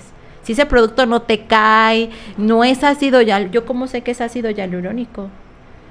Yo cómo sé, ¿no? Yo antes de cual cambio, ca- los mis proveedores siempre saben que me mandan una muestra y yo hago la prueba con la hialuronasa. Si se deshace, eso es ácido hialurónico y no le pasa nada al paciente. ¿no? Pero ya también hay muchos clones. Ya- ¿Qué ya hace un mal clona. ácido hialurónico? ¿Cuál sería una consecuencia de que Un mal ácido es lo que te comento de los biopolímeros. Puede ser un biopolímero. Mm. Entonces tú le inyectas eso al paciente y híjoles, ¿no? Y luego se te van con, se van contra el doctor. Esos Exactamente, esos son los problemas. Y aunque te hayan revisado, bueno, te hayan firmado el consentimiento y todo, pues a la hora de, de los juzgados, pues ahí ya están los problemas. Sí. pues es que al final de cuentas es lo que dicen, ¿no? O sea, la belleza cuesta. ¿Quieres Claro. hacerte algo bien? Te va a costar, pero pues te va a durar o toda la vida, bueno, dependiendo, ¿no? Exacto. Por O, ejemplo, este, un cirujano plástico que te eh, pone ácido hialurónico te cobra entre 7 a 9 mil pesos. ¿No? Un médico estético entre 5 7 mil pesos. ¿no? En el spa o la cosmetóloga, pues mil pesos. Sí, correcto. ¿no? Entonces no, pues ya ahí tú ves, ¿no? O sea, si me lo va a hacer alguien, pues que ya abrió, ya hizo, ya tiene fama, pues 9 mil pesos. ¿no? Sí. O voy con el estético, bueno, él no tiene tanta trayectoria como los años que te comento de carrera, ni opera, pero pues eh, por lo menos es médico, ¿no? Pero ya ir con la cosmetóloga o así. Con la que te puso las uñas. Tampoco no voy a hacer como que un echarles como tierrita, Sí, sí, claro. ni hacer énfasis en eso, pero si yo yo eso no lo veo bien, no lo veo bien. Pues es que al final de cuentas es... pero cada quien la las personas, ¿no? Que elija. Sí. Bueno, Sí, o sea, es también Ajá. Es- pues es que es viendo la, la economía a lo mejor de las personas, pero pues, como lo vuelvo a decir, La belleza cuesta, carnal. O sea, esa es la realidad de la vida. O sea, yo, yo por ejemplo, ¿no? Cuando me puse brackets, este, pues yo sí tenía los dientes bien feos. Pero pues yo, o sea, yo sabía que yo tenía esa inseguridad, yo sabía que quería hacerme eso. Pero, y, y yo anduve ahí investigando, ¿no? O sea, lo, lo de siempre, agarras, investigas. ¿Cómo comer elote cuando tengo brackets? No, güey, antes de eso, yo me puse a investigar, pues, dónde me podía hacer todo este procedimiento. Sí. Y este, y pues están estas marcas muy comunes de que sonrisas mexicanas y todo eso, y hay otras, hay muchas más. Y yo co- después de todo eso empiezo a conocer gente de que no, pues yo estoy ahí, ¿cuánto tiempo llevas con los brackets? De que ah, como cinco años, y yo como, ¿qué? ¿A poco sí es tanto? Y entonces yo ya fui con una, una dentista que se especializó, no me acuerdo cómo se llama, pero igual tiene En algo de diseño de estético. sonrisa. Algo así. Y este, no sé. Pero el punto es que, bueno, se estudió como tal de dentista y aparte, así Una como, especialidad. una especialidad. Y este, y pues sí estaba caro. O sea, estaba muchísimo más caro que estas marcas reconocidas. A lo mejor vipeamos el sonrisas mexicanas. No, no chingue su madre. nah. Y este, y ella me, y ella, y ella me dijo que lo máximo que alguien puede tener brackets son dos años, así pasado de lanza, no puedes dejarle tanto tiempo porque vienen algunas complicaciones. Y entonces esta persona que dice que está en dentro de esa, bueno, con ese procedimiento en esa marca y cosas así, pues imagínate, cinco años y todavía duró muchísimo más y no le quedaron ni siquiera bien, o se los quitaron y se le volvieron a enchuecar, o sea, todas estas cosas, ¿no? Entonces yo digo, pues a lo mejor y sí se hizo el gasto fuerte en su momento, Sí, claro. pero ya no tengo que ir otra vez. O sea, Sí. ya estoy bien, estoy chido, estoy a gusto. A lo mejor y hay cosas que yo tendría que hacer que no las hago, pero eso ya es mi culpa, yo ya sé. Pero pues tampoco es el efecto así bien intensote. O sea, no se me enchuecó un diente bien intenso. Enseña tus dientes, sea. este, Miguel. que-. Promociona a la doctora. No, Ma- eh, mi, mi dentista Mayra. La- de hecho, eh, ya la he como que recomendado con otras personas. Y también, pero o igual, sea, ¿no? Les comentas, es caro, pero pues vas a quedar bien. va a valer es la que, pena. O sea, justo apoyo ese punto de que dices la, la belleza cuesta y otra cosa. Obviamente es que es como en, como en todo. O sea, como cuando dicen, no, es que ¿qué crees que tienes que ir al doctor porque no se te duele el pie, ¿no? Y te dicen, no, ¿qué crees que ahí hay una señora que cura y te, te pone hierbitas de eucalipto? O sea, estoy diciendo tirando datos al azar. Te pone hierbitas de eucalipto, te da un tecito y con eso te curas, ¿no? Y vas con la señora esta y ni sabe sobar, porque sí que hay gente que le sale naturalmente sobar, ni sabe sobar, te deja más chueco el pie. Y después de, no, pues ¿qué crees que no? Pues que siempre sí voy a tener que ir al médico, donde me evité ir, porque con doña Chuchita me No salía más salió. barato. O sea, es muy común eso, ¿no? O sea, me imagino que como dices en lo del dentista y pues en este caso en las cuestiones estéticas, ¿no? Digo, si yo me fuera a hacer algo, evidentemente yo no me voy a hacer uñas, ¿no? Pero pues no iría con la que hace uñas a ponerme botox en aquí, en, un- En mi ojito. En mi ojo, ¿no?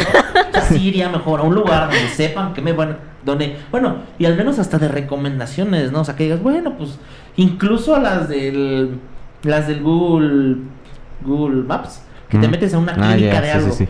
Una vez me metí así a buscar algo así y dije, ah, no, pues. Querías tu. Botox. No, no, Botox. no. Ah. y quería, quería buscar algo específico y vi, dije, ahí es. Tiene que ser ahí porque ya empecé a buscar cosas similares y fue como de, no, no, no. Y hasta que encontré algo que dice, ah, no, sí, esta está, está bien recomendada, porque ahí sí llegan y te tiran comentarios de que, la neta, los doctores son bien así, o la neta te tratan así y así. Dices, bueno, si alguien random me está poniendo eso y no te metes a su página de Facebook donde todo es, pues, pues maripositas y de que, ah, no, todo bien, eh, la neta, nunca ha habido una clínica que me tratara así. A ti en tu caso, tú tienes tu... ¿Trabajas para una clínica? Ahí explícame un poquito a qué te dedicas aparte de tu este consultorio que tienes. Este, sí, yo trabajaba en el centro de salud. Estaba en el centro de salud.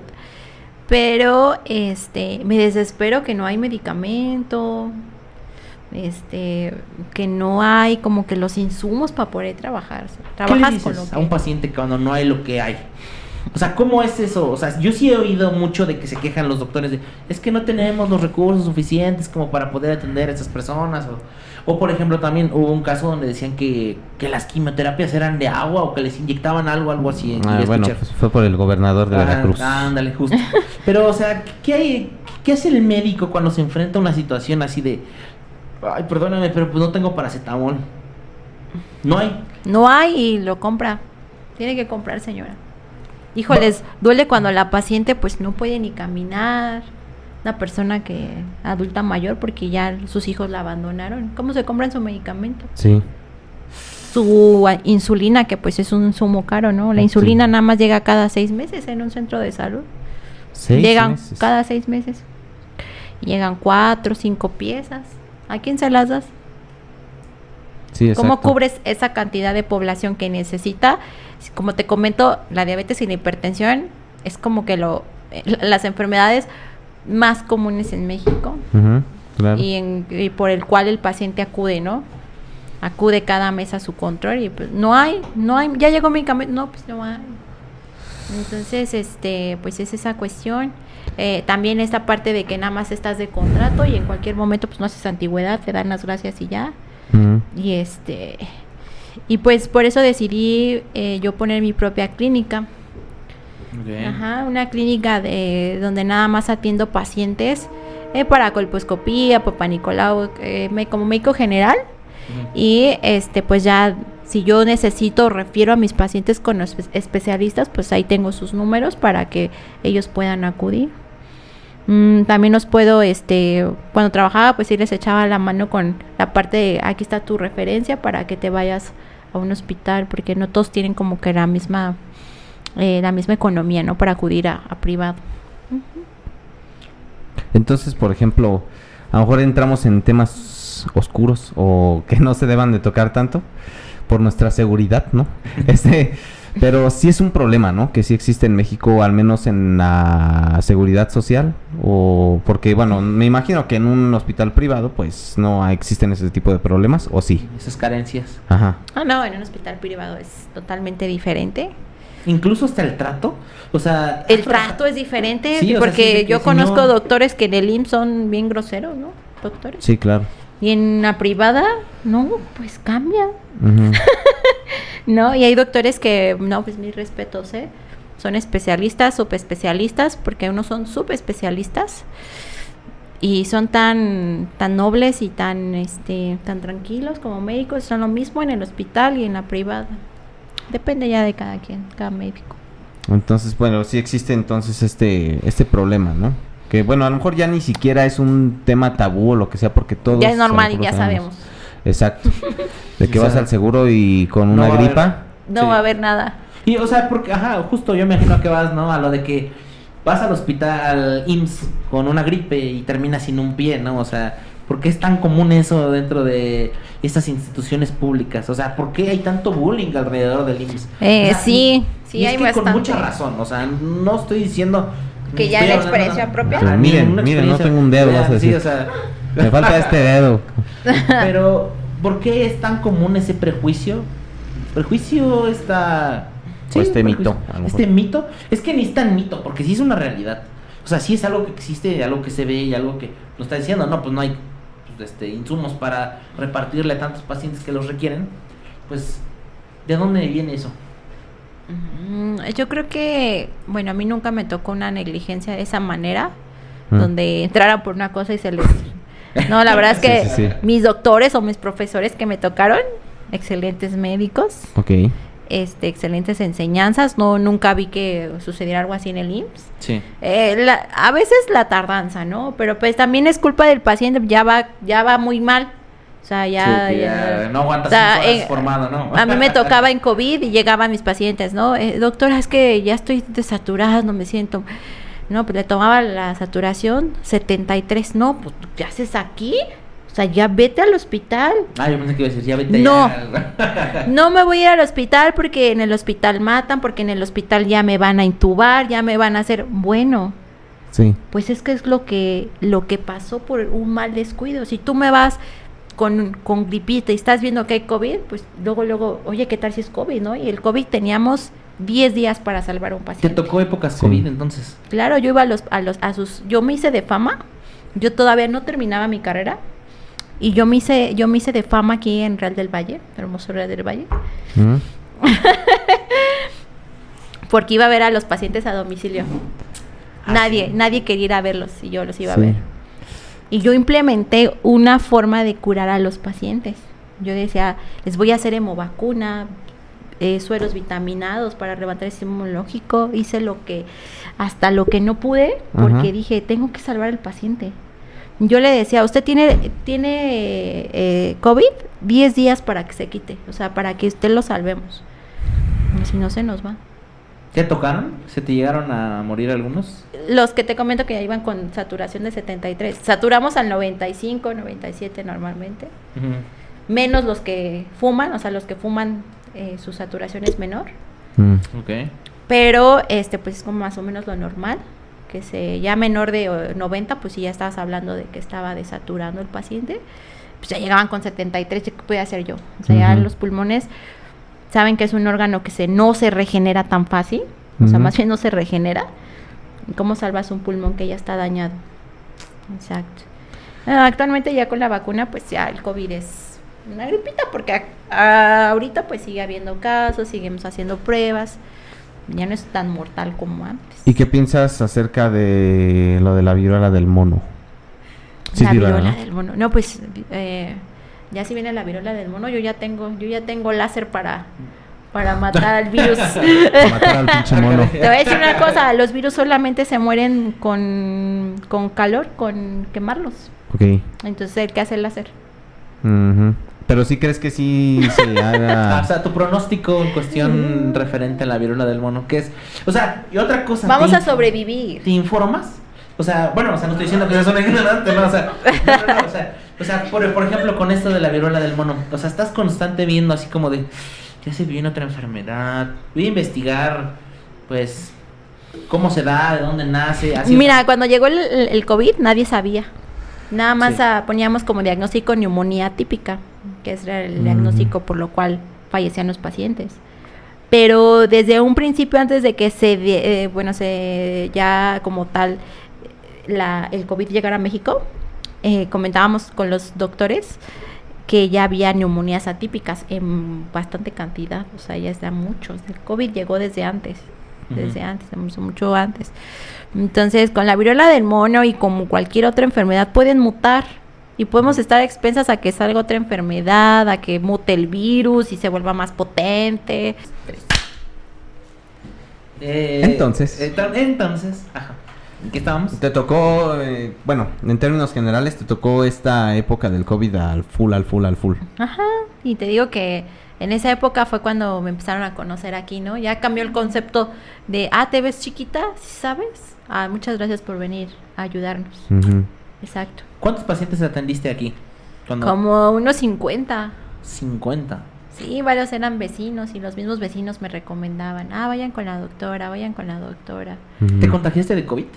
No, ¿No te dio COVID? ¿O Nunca. eres, este, Asintomática. nunca me dio COVID. Este, me hice la prueba, sí salí positiva, pero era sintomática. ok. Eh, Diosito siempre me protegió contra todo eso y pues aparte también me hacía mis tratamientos para evitar que, que me contagiara de una manera que pues Tan afectara mis, mis pulmones o alguna gripe fuera de lugar. ¿Tú tuviste COVID? Eh, no, creo que no. O al menos no me enteré. Estoy vacunado con mis tres vacunas, pero creo que no me enteré de que tuve COVID. Yo sí. Porque nunca viví algo así. tan- ¿No? No. ¿Qué tipo Yo de sí. sangre eres? Ah, positivo. O sea, positivo, ¿Ah, sí? débiles por naturaleza. ¿Ah, sí? ¿Es cierto? Sí. ¿Ah, sí? ¿Real? ¿Por qué? Em, lo que pasa es que como que hay una onda ahí entre los eosinófilos, los se aumentan más en ese tipo de enfermedades y ustedes son como más propensos a las Ujú. alergias, no sé si tengas alergias, Hasta eso no. ¿no? O sea, como, que no me siento tan débil.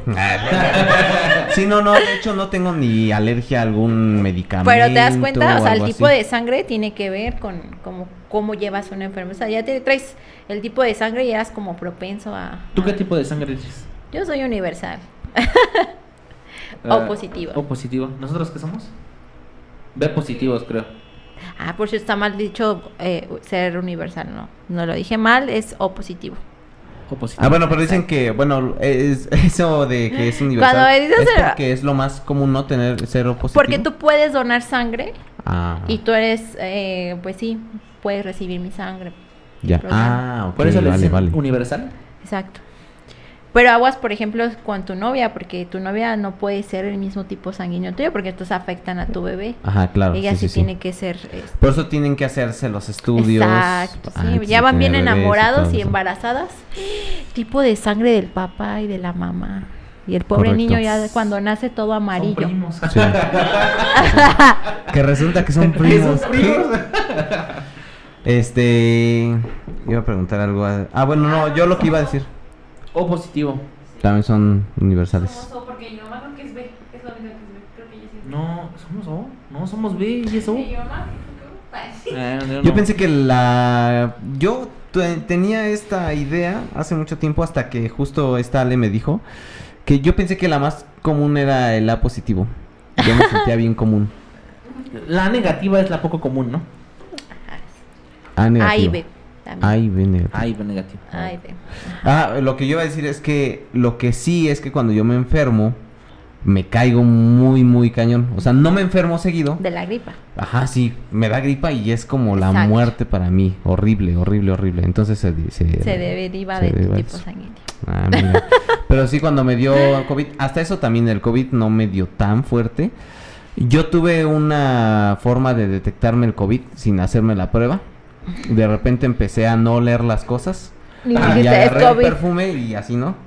Y dije, no, no lo huelo, pero dije, no estoy seguro. Entonces agarré, me eché perfume en la mano y le di una lámida. Y pues no me supo. Entonces dije, no, sí, sí tengo. Ahí Pensé que iba a la decir prueba. una prueba más drástica. La de la- meterse el... ah. No, no, eso no, no lo apliqué. Pero sí, sí, pues esa fue mi prueba y ahí me di cuenta que tenía COVID. Ay, y solo fue, fue como que problema un poquito de respiración. Este... Ya nada, estabas desaturando y ya. Sí, sí, no más eso. Ah, no más. Eh. Este, y, y no, no tenía ni aliento ni, ni gusto. Era lo único. Aliento, O sea, no, no perdón. alientabas. No, olfato, olfato, olfato. Olfato, olfato. Sí, me equivoqué. No respiraba, pero normal. Pero aquí estoy. Si no, no tenía ni olfato ni gusto. Pero mis papás sí se pusieron muy mal. Entonces, cosas del COVID. Pero sí hay mucha gente que sí quedó como con secuelas, ¿no? ¿Cuáles Ah, son las secuelas más comunes que en las personas que tuvieron COVID? Lo psicológico, Lo psicológico. claro. Niños con ansiedad desde los 5 años. Ay, se volvieron hiperactivos. Este, las eh, pacientes ya más, ah, más adultos igual con el pánico, ¿no? O sea, sí quedan como que, como que mal psicológicamente. Mm. Y otro, pues, eh, la fibrosis pulmonar que, pro- que provocó el, el COVID. Ahora que les vuelva a dar alguna infección, se me ponen malitos. Sí se, hay una fuerte vasoconstricción en sus bronquios.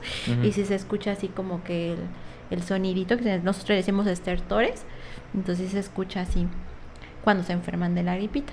Y si eres una persona fumadora, Te afecta más. ¿te afecta más? O sea, ¿cómo sé yo que el COVID me dejó secuelas porque soy una persona fumadora? O sea, ¿cómo sé de que me está afectando? Hay que hacer una radiografía. O sea, pero así sin necesidad de hacer una radiografía, así que te digas, no. tiene- Hay que escucharla, hay que escultar al paciente y ver la, ahora sí que la función del, del pulmoncito cómo está. Yo cuando escucho a un paciente le digo, ¿usted fuma? Ah, sí, doctora. Digo, como unos tres cigarros al día. O sea, por la tos podrías decir cuántos cigarros. No, por el sonido. El Por- sonido, Bueno, de el sonido de la tos. Exacto. El sonido de sus pulmones. ¿Cómo se escucha? Cuando él inhala y exhala. Ok. Exactamente. Este güey. mm, leyendo, o sea, no, o sea, son doctores, no. güey. ¿De qué? ¿Tú lo ves? ¿Lo ves así? ¿Lo sientes? ¿Comiste? Me cayó mal. Ajá, sí, te caigo mal porque comiste. Ajá, sí, ya es por medio de la auscultación y demás, Ajá, ¿no? la percusión y todo esto que conlleva pues la exploración física del paciente. Mm, ok, Yo pensé que era algo así como de intuición de. Eh, tie- tú fumas, tú no fumas. Tiene los ojos amarillos. Bueno, te voy a decir una cosa. Hay unas cosas que sí. Hay son- unas cosas que sí son con ver a los pacientes, son fascias, fascias de enfermedades, pacientes diabéticos, hipertensos, con hepatopatía, este, o sea, tú dices, no, si usted es un paciente cardiópata, eh, usted es hipertenso, diabético, o sea, son muchas.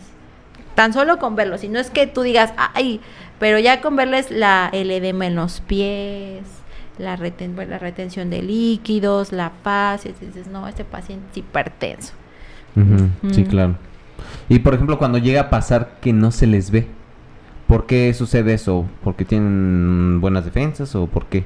¿En cuestión de qué? Porque, De- por ejemplo, hay, hay personas que llegan a estar, tienen alguna condición o algo así y no se les ve, no se les nota, así, a simple vista. No tienen como que estas reacciones que normalmente suceden en personas con esa misma condición. Bueno, yo te voy a decir una cosa, los pacientes o las, bueno, las personas tienen un aguante impresionante.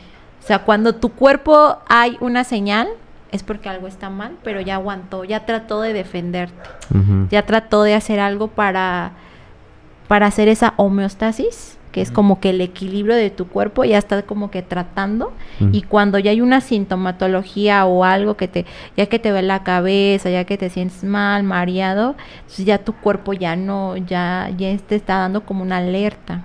Ya se hacen estudios de laboratorio, etcétera. Ok. Qué complicado. Qué complicado entenderlo. Pero, o sea, por ejemplo, yo, yo siempre he tenido una pregunta y, por ejemplo, a, a a este, a un amigo que tengo que es doctor también, siempre le he preguntado, un ejemplo, de una persona que se fuma cinco cigarros diarios. Si yo dejo de hacer eso en un tiempo, ¿hay alguna manera de que ese daño que yo le hice a mis pulmones sea reversible? ¿O ya nunca, si pasen 20 años y yo deje de fumar, ya nunca van a volver a estar mis pulmones como estuvieron alguna vez? Ya es es permanente. Es permanente. El daño es permanente, solo lo que se espera, como por ejemplo en un paciente que tiene un estadio terminal de, de su riñón, que ya está en una diálisis o hemodiálisis, pues cuando le decimos, usted está en estadio tal, le comentamos pues que se tiene que cuidar para no llegar a un, a un estadio terminal. Lo mismo con los fumadores, hay que evitar la nicotina, no la, no la pueden dejar de la noche a la mañana porque también hay un trastorno de ansiedad en el paciente. No le puedes decir, deje ¿Es la el coca. mito de que es malo dejar el cigarro. No es que sea malo, pero sí trae una complicación, o sea, sí trae un efecto en el paciente, tanto psicológico como, como alguna complicación en su, en su salud, exactamente. O sea, ¿Cuál por es eso, ese- esa consecuencia física o, o en sus, no sé? Mm, pues más que nada el trastorno de ansiedad, que Ah, no duermen, se sienten cansados, se sienten fatigados, pueden tener alteraciones de la alerta, mareo. Hay personas que no pueden hacer del baño, ¿no? Como que eso es, es, lo, es un común, bueno, al menos yo conozco muchas personas que, que dejan de fumar y entonces empiezan a tener como problemas de... este, gastrointestinales también. Ujú. Gastritis, etc. como que tu cuerpo empieza a tener cambios. Entonces hay que hacerlo eh, progresivamente. Es decir, llega un paciente con una glucosa de 500, no se la puedes bajar de, golpe. de golpe, ni Sí. una presión, o sea, nada en esta vida se baja así. Porque entonces caemos como ahí en una alteración química. Sí. Exactamente. Hace ratito, mientras nos estabas explicando, nos decías, nos dijiste que gracias a Dios. Y entonces, ahorita que mencionaste lo de Dios, yo quería ver qué tan ligado está esta parte de, de Dios con, pues, con los médicos, porque yo siempre les he preguntado, porque yo llevé una materia en, en la carrera que se llamaba procesos cognitivos, y muchas veces hablaban y nos explicaban que cuando a las personas les da cáncer y no saben, no tienen ningún efecto de cáncer dentro de su cuerpo más que el que se ve después, ¿no? O sea, pero no se ve cansado, no se ve pues mal físicamente, ¿no? Y cuando se enteran que tienen cáncer, o sea, ya estoy hablando del cáncer o de cualquier otra enfermedad, regularmente pasa mucho eso. Es cuando, ¡pum!, el efecto psicológico de, madres, ¿no? Estoy mal, ¿no? O sea, tengo esto. Y ya, o sea, lo ves dos semanas después Se va para abajo. y ya está destruido él, o sea. Y entonces yo siempre he dicho, ¿qué tanto va ligada la parte religiosa a los doctores? Porque, pues, o sea, regularmente se hace mucho, mucho ese chiste de que se salva una persona, dicen, ay, gracias a Dios, ¿no? Y el chiste es de que el médico, ¿qué, no? O sea, ¿cuál es el papel del médico? ¿Tú cómo estás relacionada o vinculada con la religión dentro de lo que tú haces y de lo que tú hiciste o harás? A todo. Bueno, yo siempre antes de hacer cualquier procedimiento o de ver el problema, porque a mí no, a mí no me llegan gripas, o sea, gripas, eh, diarreas, no, a mí sí me han llegado casos fuertes, o sea, que digo, ¿qué es esto que me están diciendo? Ya fui con tantos médicos y no, no me dan, so- ya fui al hospital y me regresaron. Y, y- y yo siempre digo, yo soy su herramienta de Dios. Yo soy una herramienta de Él y un mediador. O sea, por, por gracias, o sea, todo lo que he hecho, todo lo que, lo que he aprendido a, mi enseñanza o a mi, a mi forma de ver, porque no tengo religión, cabe mencionar, no tengo, no te puedo decir que soy católica, cristiana, no, no tengo ninguna religión, pero siempre, siempre soy como que una herramienta, o sea, no, yo no digo, ay, por mí, o sea, no, yo siempre pedí, este, e- esa parte de ser una herramienta, una herramienta para ayudar a las personas. O sea, pero tus creencias religiosas no están vinculadas con lo que haces más que en el de que tú eres una herramienta. O sea, en el sentido de que no dices, es que hoy salvé a alguien porque Dios me ayudó. No, o sea, ¿cómo? O sea, eso iba mi pregunta. Ajá, sí. Las pacientes que, bueno, los pacientes que llegan conmigo, yo siempre les he dicho, o sea, gracias a Dios, eh, todo salió bien. O sea, no, yo no, yo no soy como que egocéntrica, decir, no, por mí, por mí tú estás sano, o por mí tú ya mejoraste, por mí no. Yo siempre antes de hacer cualquier procedimiento que pudiera, este, pues salir alguna complicación o algo más invasivo, yo siempre hago oración, pues para evitar esta parte de, de que el paciente salga mal, de que el paciente no mejore. Exactamente. Llega a cruzarse, ¿no? O sea, también no es un tema raro, porque pues si llega a cruzarse porque pues estamos rayando, la, bueno, la medicina raya o sí toca de más, de gran manera, como tal la ciencia, ¿no? Entonces sabemos que la ciencia siempre ha estado peleada con la religión. Y entonces, por eso a lo mejor viene esta, esta pregunta, ¿no? O a lo mejor este estereotipo. Exacto. Y no solo en la medicina, creo que en todo. O sea, cuando uno entra a la universidad, o sea, incluso los papás, bueno, a mí me lo dijeron, bueno, a mí no me lo dijeron, creo que se lo dijeron a mi hermano, de que vas a entrar a la universidad y este y ya vas a perder la religión y cosas así, ¿no? Porque como el 80 o 90% de la población mexicana, mi hermano y yo fuimos católicos, bueno, fu- fuimos este bautizados por la religión católica.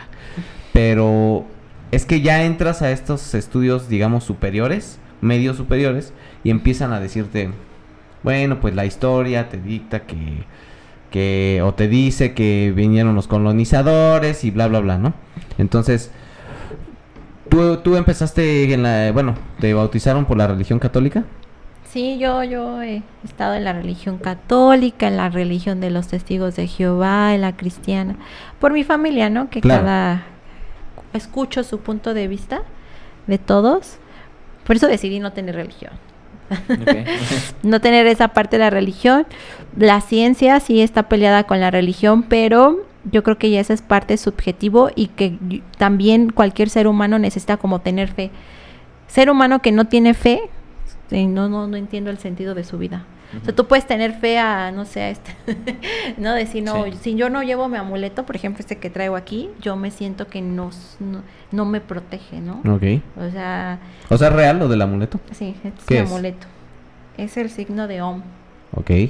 ¿no? ¿Desde cuándo tienes ese el amuleto o como Lo es? que pasa es que por esta parte que conecto con los pacientes me robaban energía.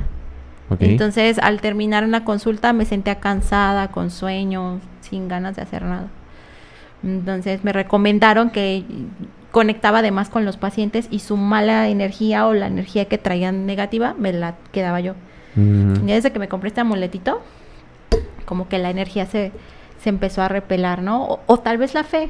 Ah, justo es lo que Es decías. lo que te digo, o sea, es la fe que tú le tienes a una estampita, a una, a una pulsera que te regaló tu papá, a algo que tú tienes, dices, hoy voy a- hoy tengo fe de que todo va a salir bien, de que Sí. todo va a estar bien, de que todo. Entonces yo creo que más que nada es algo a lo que tú le tienes fe, no nada más a Dios, sino a un santito, a un amuleto, algo. Ya, Eso ya depende de cada persona. Sí. Ese es mi punto de vista. No, sí, sí, sí. claro, sí, sí, sí. No, y de hecho, o sea, Sí. históricamente lo vemos en todas los tipos de religiones y en todo el tipo de creencias. O sea, si nos vamos, si nos remontamos hasta las épocas prehispánicas, todo, ¿cómo es que llamaban a la lluvia, no? Era todo un procedimiento. Sí. De que el baile, el fuego en medio, lo que sea, ¿no? Incluso los sonidos, los tambores, era toda una, un ritual. Si, re- si, nos va, si nos venimos hasta estos tiempos, siguen siendo rituales, quieras que no, porque se hacen en una metodología. Sí, es, claro, es toda una metodología. A lo mejor el baile tenían que girar, no sé, voy a decir un, a lo mejor pendejadas, ¿no? Pero tienen A la que- derecha. Ajá, hacia, hacia la derecha y luego hacia la izquierda y luego hacia el centro. no, y no no sé qué. Ajá, si no, no funcionaba. Y en este caso, muere alguien y ¿qué hacen, no? Los rosarios. Y entonces tienen que ir como en cierto... No, no puedes hacerlo diferente. Tienes que Sí, hacer de un- que cinco veces decir, o diez veces creo de que este... De que el... ¿Cómo se llama esta madre? El padre... Esta madre. Bueno, no sé. Sí, depende, depende tu pecado, es la cantidad de padres nuestros, ¿no? Que sí, o tienes sea, que decir, ¿no? Y, y al final cuentas son, es algo ya metodológico y que se maneja en todos lados. O sea, y, y a lo mejor yo podría decir. Pero es que sí da.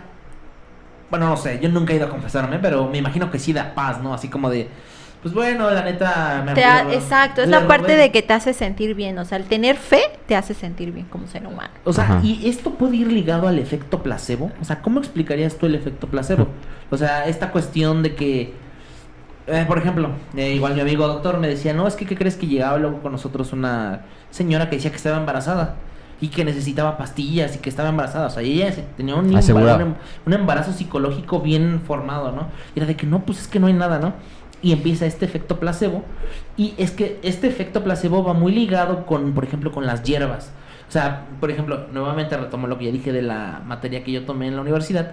Decía que muchas veces el hecho de que, o sea, por ejemplo, si tú, si tú me dijeras, ¿sabes qué? Si quieres quitarte este dolor en la mano, vas a tener que irte a conseguir una hierba al cerro de. Pachuca, del Chiquihuite. Y cuando llegues al cerro vas a tener que darle, justo como lo que decía Miguel, existe una metodología, este, o un método ya muy estructurado, ¿no? De, le das 10 vueltas a, al cerro y cuando vayas a bajar del cerro, sacudes tu plantita. Llegas a tu casa y te haces un té de eso. Y de que, ah, no, sí, sí me funciona, ¿no? ¿Cómo aplica este efecto psicológico dentro de los pacientes? O sea, en el caso de la hierba es más por la cuestión de que, boom, hiciste algo de que a lo mejor hiciste un proceso, cumpliste con algo que sientes tú que está funcionando. Es un placebo natural. En el caso de cuando son médicos, ¿en qué parte o dónde repercute esto? ¿El placebo? Ajá. Ok. Bueno, te pongo el caso. Llega una paciente y dice, me falta la respiración, este, siento que me voy a morir y esto le llamamos trastorno de ansiedad. Ajá. Dice a la paciente, tranquila, te voy a dar esta pastilla. Esta pastilla te va a quitar lo que sientes. Como por arte de magia, se le quita. O una inyeccióncita de tribedoce, ¿no? De bellodecta, lo que tenga yo a la mano, ¿no? El chiste es darle la atención a la paciente y hacerla sentir que está protegida, que está, que está cuidada, que es esa parte y les funciona. O sea, si tú utilizas el efecto placebo, les funciona a, la- a los pacientes. Claro, eso siempre se ha aplicado.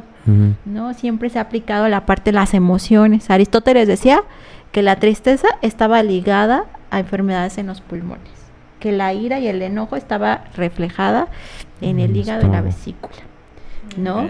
Entonces, las emociones, como tú lo decías ahorita, repercuten en la salud del paciente. Tú te peleas con tu novia y estás súper triste y te sales a la calle sin suéter y llueve. y Llegas con una gripa Sí. espantosa, ¿no? Sí. ¿Por qué? Porque hay un choque ahí de emoción donde tu sistema inmunológico está comprobado que se deprime.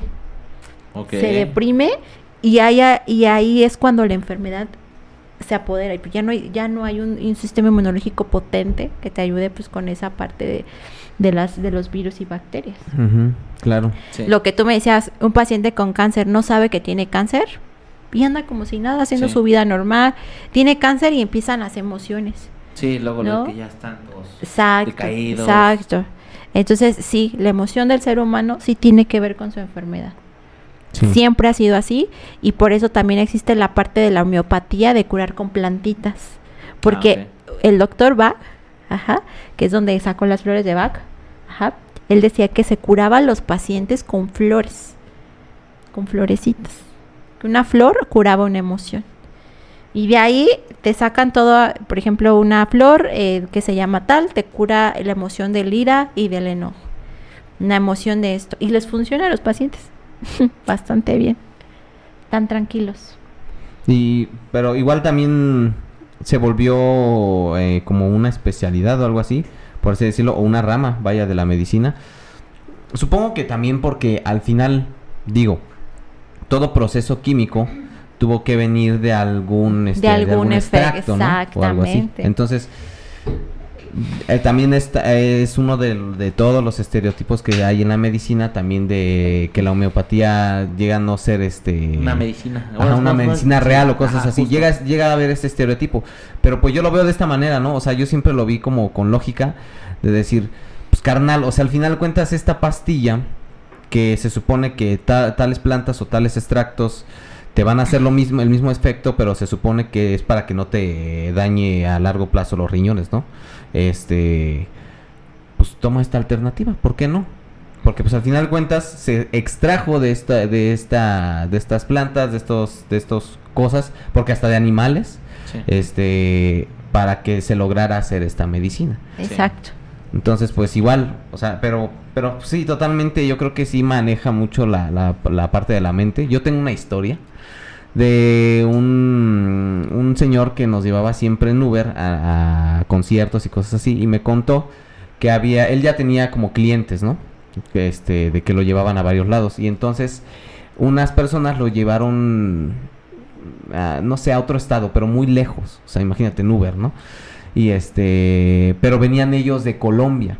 Ellos venían de Colombia y querían ir a tal estado, a una iglesia, porque en esa iglesia había un, una, este, no sé, como un cáliz o algo así, con una, con un agua bendita, según muy poderosa de no sé qué santo. Y entonces ellos vinieron desde Colombia porque en Colombia les dijeron que aquí en México estaba eso y que eso le iba a curar la enfermedad a una persona que estaba allá. Y entonces pues le, le dijeron y todo, lo contactaron, o sea, las personas que de aquí de México que conocían a los de Colombia con este señor, este llegaron aquí a México, los llevó hasta allá, llegan y era época de pandemia. Y este tocan y dicen, "No, pues este, no, ahorita no está no está abierta." Dicen, "No, pues es que venimos desde Colombia por el agua para curar a nuestro enfermo, que no sé qué." Y el padre se quedó así como de, creo que ni siquiera era el padre. Se quedó así como de mm, El monaguillo. el monaguillo, el velador. Se quedó El como de, mm, bueno, les eh, cuando les venden esta agua les cuesta tanto. No, pues sí, estamos dispuestos a pagarlo, pero venimos para eso. Bueno, no les puedo abrir, pero yo se las traigo ahorita. Dice que el vato no se tardó ni cinco minutos en que regresó con una botella llena de esa agua y se las dio. Y él en su mente fue, o sea, ellos como de que, ah, sí, ya me dieron mi agua, lo que quería, ¿no? y este, este señor, pues, sabiendo cómo es el mexicano, que somos así como, pues, bien, ¿cómo se dice? Oportunistas, a lo mejor. Somos muy así. eh, dijo, este güey seguro sacó el agua incluso hasta de la taza o de la llave y se las dio. O sea, es lo más probable, porque no se tardó nada. O sea, nomás fue como que, ¡fum! Vámonos. Entonces se fueron estas personas, regresan a Colombia y le cuentan que sí se curó la persona, ¿no? O sea, co- con tomar esa agua. Sí. Y entonces dices, ahí está totalmente actuando la fe. O sea, no hay, no hay otra cosa hay más otra que la cosa fe. más que la fe. Entonces, pues sí, o sea, al final, pues tú puedes creer en lo que quieras. Lo haces, haces tu ritual, lo que sea, como, como dices, ¿no? Empiezas, a lo mejor vas a hacer una operación o algo. Te encomiendas a, a lo que creas y vamos a darle. Y pues te sale, ¿no? O sea, es, es parte de, a lo mejor no, no una religión en específico, pero sí. De- Y, ah, Ah, no, dale, no, dale, no, dale. no, no. De Bueno, aquí, de aquí la frase que dice, la fe mueve montañas. Pues sí, pues sí, al final de cuentas, ¿no? Sí. ¿Y por qué este estuviste alrededor de tantas religiones? O sea, familiares de, no sé, de tu mamá y de tu papá tenían otras religiones, estaban cruzadas o cómo fue ese Sí, soy- mi familia tiene religiones cruzadas. Son politeístas. Son por- exacto, me tocó saber de todos hasta De Alá, de Alá, de Buda. de Buda. No, no, no, pero retomando un poquito lo que estaban diciendo, o sea, no sé si alguna vez ustedes se han dado cuenta, o sea, regresando un poco con esa fe y el que tanto tú crees en las personas, Mm. el que siempre que tú vas al médico, no cuestionas al médico. O sea, tú vas con la idea de que él te va a decir, tómate esto, esto y esto. Y tú no, no vas a decirle, oiga, por este, profe, iba a decir, profe, eh, oiga, doctor, pero ¿por qué voy a tomarme, no sé, esta medicina? Siempre es como de, ah, yo me tengo que tomar esto, ok, me lo tomo. Mismo caso, ya había dicho alguna vez, a los maestros casi nunca se les cuestiona. Es muy raro que se le cuestione a un maestro porque tú lo ves como una figura en la que tú crees y de hecho, pues no, también no sé si ya lo he mencionado, pero cuando existió todo este movimiento alrededor de que los maestros querían hacer protestas y eso, por eso el gobierno tenía tanto miedo, porque decía, es que los maestros tienen 40 personas dentro de, de un salón a las que van a influenciar, porque es hasta donde tú crees. Otra, otra autoridad a la que se le cree y no se le cuestiona es al este a un militar. O sea, un militar te dice, ¿sabes qué? Es esto y esto y esto y hay quien, quien cuestiona eso. Pero casi no sucede en esos casos de con médicos, doctores. Ah, bueno, incluso con un padre, ¿no? Vas con el padre, el padre te dice, no, hijo, ¿qué crees que no? Lo que me dices está mal, tienes que hacer esto y esto y esto. Y yo te recomendaría que ya no lo hagas. Pues eh, como lo ves como una figura, no sé, en donde depositas tu fe y confías. Porque también sé que regresando a lo de los, de los efectos placebos con, los, con las plantas, es que tanto tú creas. No va a tener el mismo efecto que yo te diga, sabes que te duele la garganta, tómate un té de limón, a que te lo diga a lo mejor Alejandra. Tú crees, obviamente vas a confiar más en Alejandra. Sí, claro. posible- Claro. Posiblemente el té tenga más efecto si te lo dice ella, si te lo digo yo. O sea, si tú no confías en mí vas a decir, híjole, pues me Este güey que me va a andar. Sí, que me van a dar recetando. Pero si Alejandra te lo da, aunque el té no haga nada, no, o sea, el Sí. té no tiene esa función, eh, no tiene esa función, pero va a tener a lo mejor ese efecto en ti. Pum. Pum. Como la sopita que te da tu mamá. Ajá. La sí, sopita. O los, este, ¿cómo se llaman? Los licuados. Los Ah, licuados. Los La miel licuados. caliente. La miel caliente. Eso El tomate, el tomate asado. Eso sí sirve. O sea, cuando alguien de que tienes tos y todo eso, ¿por qué funciona? ¿O por qué se supone que funciona? Mira, todo funciona si el paciente dice que es medicina. Y Mm, aquí viene el efecto, el efecto de la fe o del placebo que le das. Ok. O sea, por ejemplo, aquí pues tenemos al alcance médicos, ¿no? Pero en las zonas rurales no hay médico. Entonces ahí se cura a las personas con plantitas y tienen a su a sus doctores, ¿no? Sus chamanes, sus brujos, la gente que ya los cura, ¿no? La- sus curanderos. Y le tienen fe, y es su, es su medicina, es su medicina tradicional y. Sí. y me tocó ir a un pueblito que le decían el pueblo de las brujas, ahí hice mi servicio social en Hidalgo. Y ahí era lo que decía el paciente, no lo que decías tú. No te podías meter en lo que decía el paciente. O sea, si el paciente te mete, me tomé un té de no sé qué y no sé qué. Ah, qué bueno, cero cuestión, ¿no? Ujú. ¿No? ¿Y Es- entonces para qué iban al doctor? Es lo que no, no entiendo. Aún sigo sin resolver esa duda. Exacto, sí, pero si lo- tú los contradecías te decían, no, es que es la medicina del pueblo, es la tradición del pueblo, es lo que hacemos aquí. Allá las mujeres, por ejemplo, decían que las brujas, como era un pueblo de se llevaban a sus niños y los tenían que tener como con un listoncito o un amuleto ahí, el y que rojo, estaba en aguar Ujú. y no sé qué.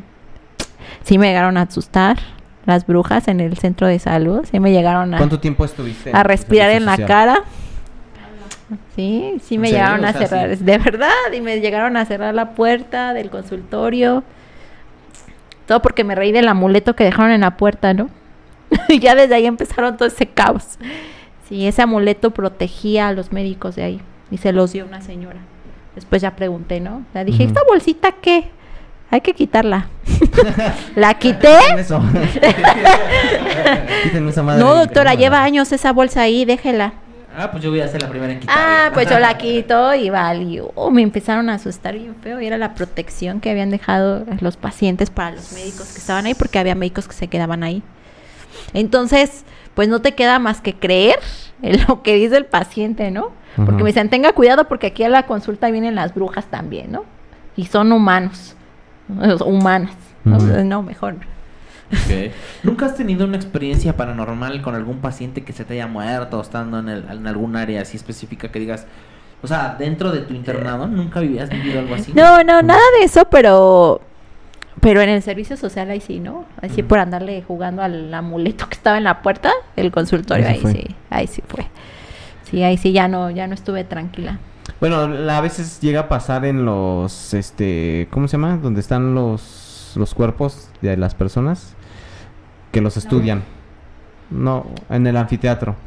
Llega a pasar eso, ¿no? Bueno, o más bien O sea, pero porque muchas veces es cierto eso de que guardan como los nervios o algo así y llegan a moverse. Pero sí, eso sí es cierto, sí, eso sí es Pero cierto. pues sí da miedo, ¿no? Pero pues sí da miedo, exactamente. Pero mi única experiencia paranormal, pues fue eso.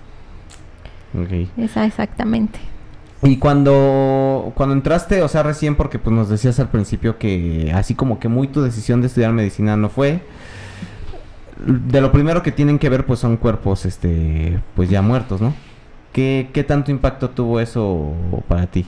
La primera vez, Em, ¿o no fue tanto? pues es respeto hacia la persona que nos, que nos, este, que nos presta, ahora sí que lo que fue su, porque su alma ya no está ahí, es su, su cuerpo, y si el doctor sí nos hacía, este, como que tener respeto, ¿no? Ante el cuerpo, taparle su carita, este, sus genitales, o sea, sí tener como si fuera una, una persona viva, sí le teníamos respeto, le pusimos nombre, y también este el día de muertos pues sí le poníamos ahí su nombre su veladorcita este todo como como si fuera parte de nosotros porque es parte de nosotros finalmente pues gracias a ese cuerpo que nos, exactamente fue estudiado y aprendimos pues la anatomía del cuerpo humano ¿No te daba cosita? no pero arde los ojos horrible el formol crudo es algo muy muy fuerte el aroma y bastante sales con dolor de cabeza y los ojos muy muy irritados por Por, por más estar que tengan cubrebocas y demás. sí es algo inevitable es algo inevitable y este y pues sí sí es algo molesto estar trabajando con el cadáver porque no no es un cadáver como tú te imaginas es ya cartón parece cartoncito ya es muy el formol ya está muy muy adherido y ya es como Huele una feo. momia como una momia no huele a formol Ah, sí, es como una momia. ¿Cómo describirías el olor del formol? es como un ay es un olor como agrio mm, como bastante químico un químico muy fuerte Ajá. Cuando lavas el baño. no no no Al- al cien- como al- cuando revuelves sosa con cloro yo creo que más o menos es así sí sí es muy fuerte el aroma Ok, vaya. sí ¿Y qué dentro de todos tus estudios, eh, cuál fue a lo mejor la... Evidentemente pues te fuiste por la, por la cirugía estética y demás, pero ¿qué otra cosa te hubiera gustado? Mm, ser otorrino Ok, otorrino eso es de es la, la, nariz, ¿no? especialidad de la nariz en los oídos Ok, Ajá. ¿por qué? porque tuve una maestra muy guapa, muy bonita y fue como que mi como que mi así dije, ay, así me gustaría verme. Sí. Sí, muy bastante muy buena la doctora y aparte pues el oído y la nariz es como una es como consulta recurrente, ¿no? O sea, los los pacientes hay mucha consulta. Es lo único que est- estudiaría, la verdad, cirugía o eso, y es, es como que mi pasión. Ya pediatría, y- no, no, eso. ¿Cuál fue tu experiencia con cuando porque obvia- evidentemente tuviste que trabajar trabajar con niños, ¿no? ¿Cuál ¿Solo fue tu tuya? experiencia con eso? no son lo mío los niños. ¿Te desesperaban? me desesperan los niños y este y pues lloran de todo no se dejan ni revisar Es complicado tratar con niños hay que tener bastante bastante paciencia Y aparte también puede ser triste a lo mejor. también es triste porque hay niños digo hay hay situaciones muy difíciles niños desnu- en desnutrición eh, bebitos que los abandonan y los eh, adoptan a otra familia entonces hay que darle leche leche de fórmula Ujú. estarlos cuidando, porque están enfermitos. La mayoría de cuando los dejan es porque están enfermitos. Tienen algún síndrome, Ah. alguna anomalidad congénita. Entonces sí es bastante... Y cuando te, Complicado. te inclinas por la. Bueno, ya regresando un poquito a lo de medicina A la estética, medicina A estética. la medicina estética, ¿qué son, ¿cuáles son las características que tendría que buscar alguien, o sea, quien nos está viendo, que diga, tengo que ver esto y esto y esto y esto y esto antes de aceptar Un procedimiento un procedimiento, o sea, ¿qué tengo que ver? Porque, o sea, pues como dices, no, no vas a ir con la de las uñas a que te ponga botox. Entonces, ¿qué, qué aspectos tiene que, oye, tienes que considerar? Lo primero es checar el lugar, eh, checar la, los comentarios, o sea, la parte de, la cédula. recomendación, esa es otra. Lo otro tienen que checar pues que sea médico con cédula y más que nada pues les transmite esa confianza y esa seguridad cuando tú hablas con el paciente. O sea, explicarle el procedimiento, las complicaciones, este, mm, el seguimiento médico, que te estén checando, porque aunque tú digas, ah, pues nada más me inyectó la nariz, no, no pasa nada. Mm. Por rato se te necrosa o algo.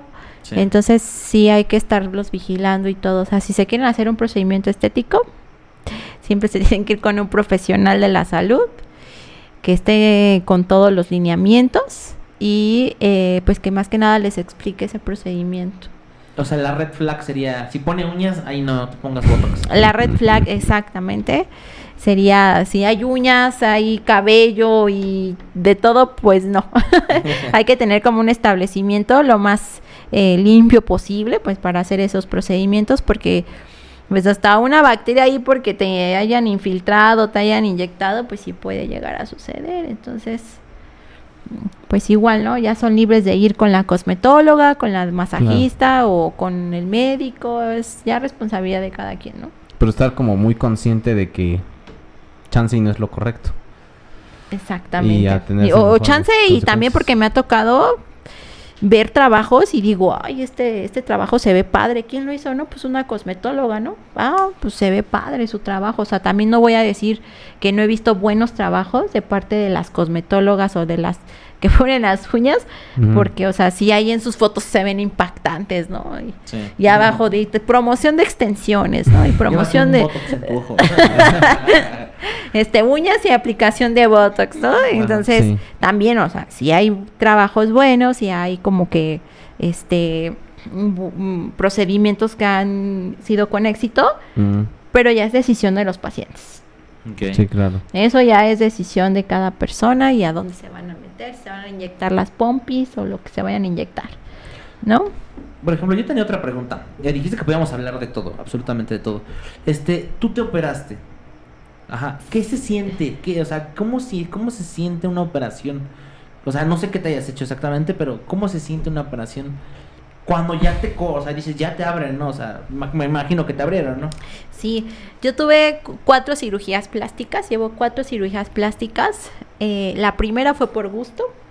La, segunda por placer. La segunda, la segunda porque la quería yo más, la segunda porque quería yo más. Y en la segunda fue que quedé yo mal, me operaron mal. Un médico estético que no era cirujano plástico. Me afectó este mi cuerpo y tuve que eh, hacer in- reintervenciones quirúrgicas para poder quedar bien, para poder. eh, no demandé, no hice nada porque todo esto es dinero. Demandar Sí, es claro. dinero, Sí, claro. demandar es procesos largos y yo lo que quería era sentirme bien conmigo misma porque pues para eso te haces una cirugía estética, ¿no? Claro. ¿Y cómo te sentías cuando, o sea, cuando quedó mal? ¿Cómo te sentías? O sea, sí había efectos, pues, de que, como decías, me tenía calentura o me dolía o... Ah, claro, yo pensé en el suicidio. O sea, yo, yo pensé en el suicidio porque yo decía, para mí el no verme bien es crítica. Es crítica por las personas, por los pacientes. Y de ahí fue que yo me dediqué a la medicina estética. O sea, yo dije, yo, yo tengo, yo ya sé que ese paso, o sea, esta parte de los videos que ven ahí que se están ahí caminando así todas eh, en- encogiditas Sí, y con sí. dolor y los masajes. Entonces, eh, una cirugía plástica es dolorosa. Este, termino, yo terminé con oxígeno, este, con adrenalina porque se me bajaba la, la presión arterial a 70, 40, 60, bastante bajita y me estuve a borde de la transfusión sanguínea, eh, sí fue muy doloroso para mí y la última, la primera cirugía pues entré bien valiente, súper bien, pero ya cuando era para acomodarme lo que me habían dejado mal, ay, yo pedía a Diosito no morirme, o sea, yo, yo ya no quería yo sufrir, pero era eso o quedarme como estaba, Ujú. era eso o, o quedarme mal, eh, Sí, claro. así morfológicamente, o sea, muy mal. ¿Y duele? ¿Qué tanto duele? ¿Qué, ¿Cómo explicarías el dolor? El dolor no es como un parto ni una cesárea. Y No. no he pasado por parto y cesárea, pero yo veo que las pacientes pues sufren en el momento y ya, ¿no? Y mi mami este le comenté, "Oye, esto es como un parto una cesárea." No, esto nada que ver con no. que ella ya que ya pasó por una cirugía plástica y por un parto y una- no nada que ver. O sea, es muy doloroso. El proceso es muy doloroso, pero ahorita ya hay nuevas tecnologías para que sangres menos, para que eh, te recuperes más rápido, pero siempre eh, eso va a ser doloroso.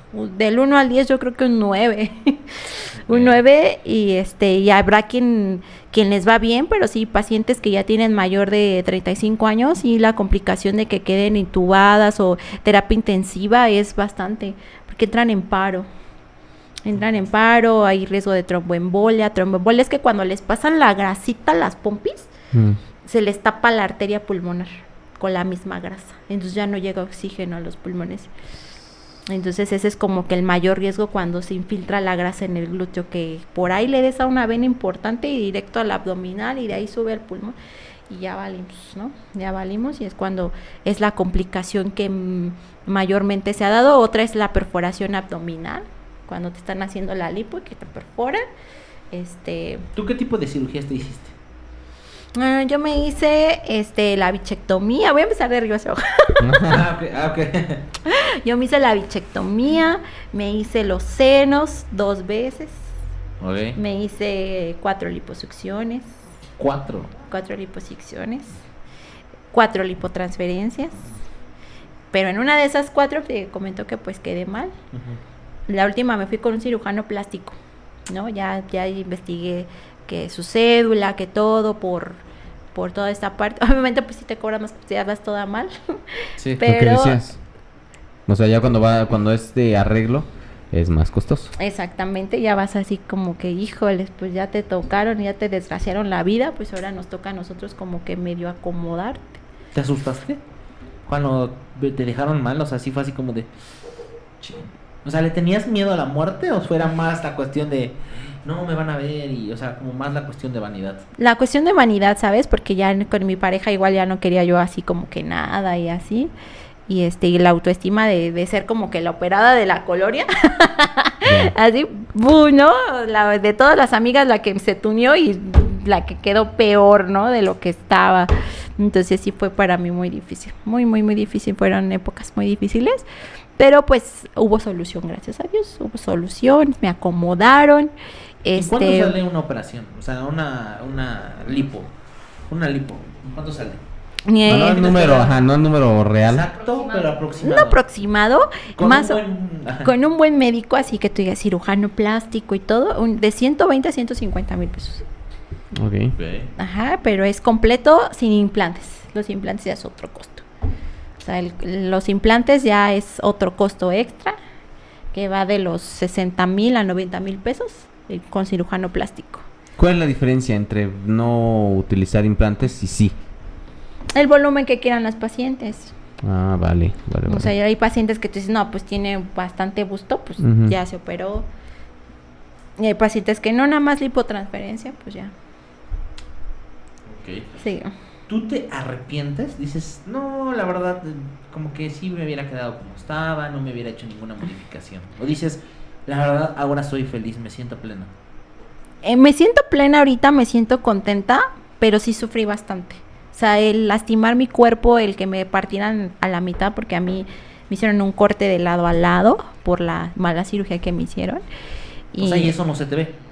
Sí, claro, es una Ah, cicatriz horrible que tengo, pero que se tapó con un tatuaje. o sea. Ah, ok. Justo. Que me dolió tanto de por sí, apenas me lo hice la semana pasada. Ah, ok. Pero este, pero igual la cirugía estética o cirugía plástica pues precisamente es como que el- la mm, el, el objetivo, ¿no? Hacerte un corte que no te veas fatal, o sea, que Sí, sea plástico, Sí. ¿no? Sí. O sea, que sea una buena imagen y todo. Entonces, pues pues no- más o menos en eso oscilan los los costos. ¿Tú qué le dirías a la persona que está detrás de la cámara? Bueno, no Diana. ¿A Diana? la, la persona que nos está viendo, si quiere operarse, tiene la idea de, ay, no me gustaría. ¿Le dirías sí, hazlo? Mm, piénsalo bien antes de hacerlo. ¿Cuál sería tu consejo? O sea, fuera de ser una... Una, médico, una ¿no? médico. Como me- como experiencia propia. Ajá. Mira, son muchas cosas porque una vez entrando en este mundo de la cirugía, estos implantes duran 20 años. Si te dice tu médico, dura para siempre, eso es una mentira. Mentira. Y durante yo los traigo, estos implantes eh, se pueden romper, puede hacer mi cuerpo una, un síndrome que se llama ASIA, que es rechazo al implante. Tu cuerpo no lo aceptó, aunque esté bien colocado. O este, y un recambio. Un recambio porque estos implantes, pues tarde o que temprano se encapsula, tu cuerpo pues no, no va ahí y se hace duro, se hace duro. Entonces es como un ciclo. Si tú te vas a meter a la medicina estética o a la cirugía plástica, es como el Botox, te pones y te vas a acostumbrar a siempre verte bien. Y te tienes que volver a poner cuando pase el efecto. Si tú te pones ácido hialurónico en los labios, te tienes que volver a poner cuando pase el efecto. Y es un, es un ciclo. Es un ciclo que si tú te metes, es ya ahí vas a estar. Si tú te vas a operar, es operarte y, y pensar que esa operación te puede traer más operaciones, porque te- una es la colocación y otra es el retiro cuando te toque. Habrá quien diga, no, pues me los retiro ya nunca, ya hasta que me muera, ¿no? porque me ha tocado pacientes, ¿no? Ya, Ok. ya hasta que me muera, pues ya, ¿hasta dónde, no? Pero tú no te puedes, puedes poner a pensar que durante ese tiempo, pues tu implante se puede romper. ¿Cómo se ve un implante? O sea, que es como una bolsita, como un globo. Un implante es, es eh, a, a su textura ahorita ya son como más naturales. Nunca se va a sentir como una, un- un- unos pechos normales, ¿eh? O sea, son que le he preguntado a mis amigos, ¿no? A ver, tócame y, y, así, y así como que, o a mis amigas, ¿no? A ver, ¿qué se siente tener implantes? ¿No? Es como que la, como que, así, ay, ¿qué se siente?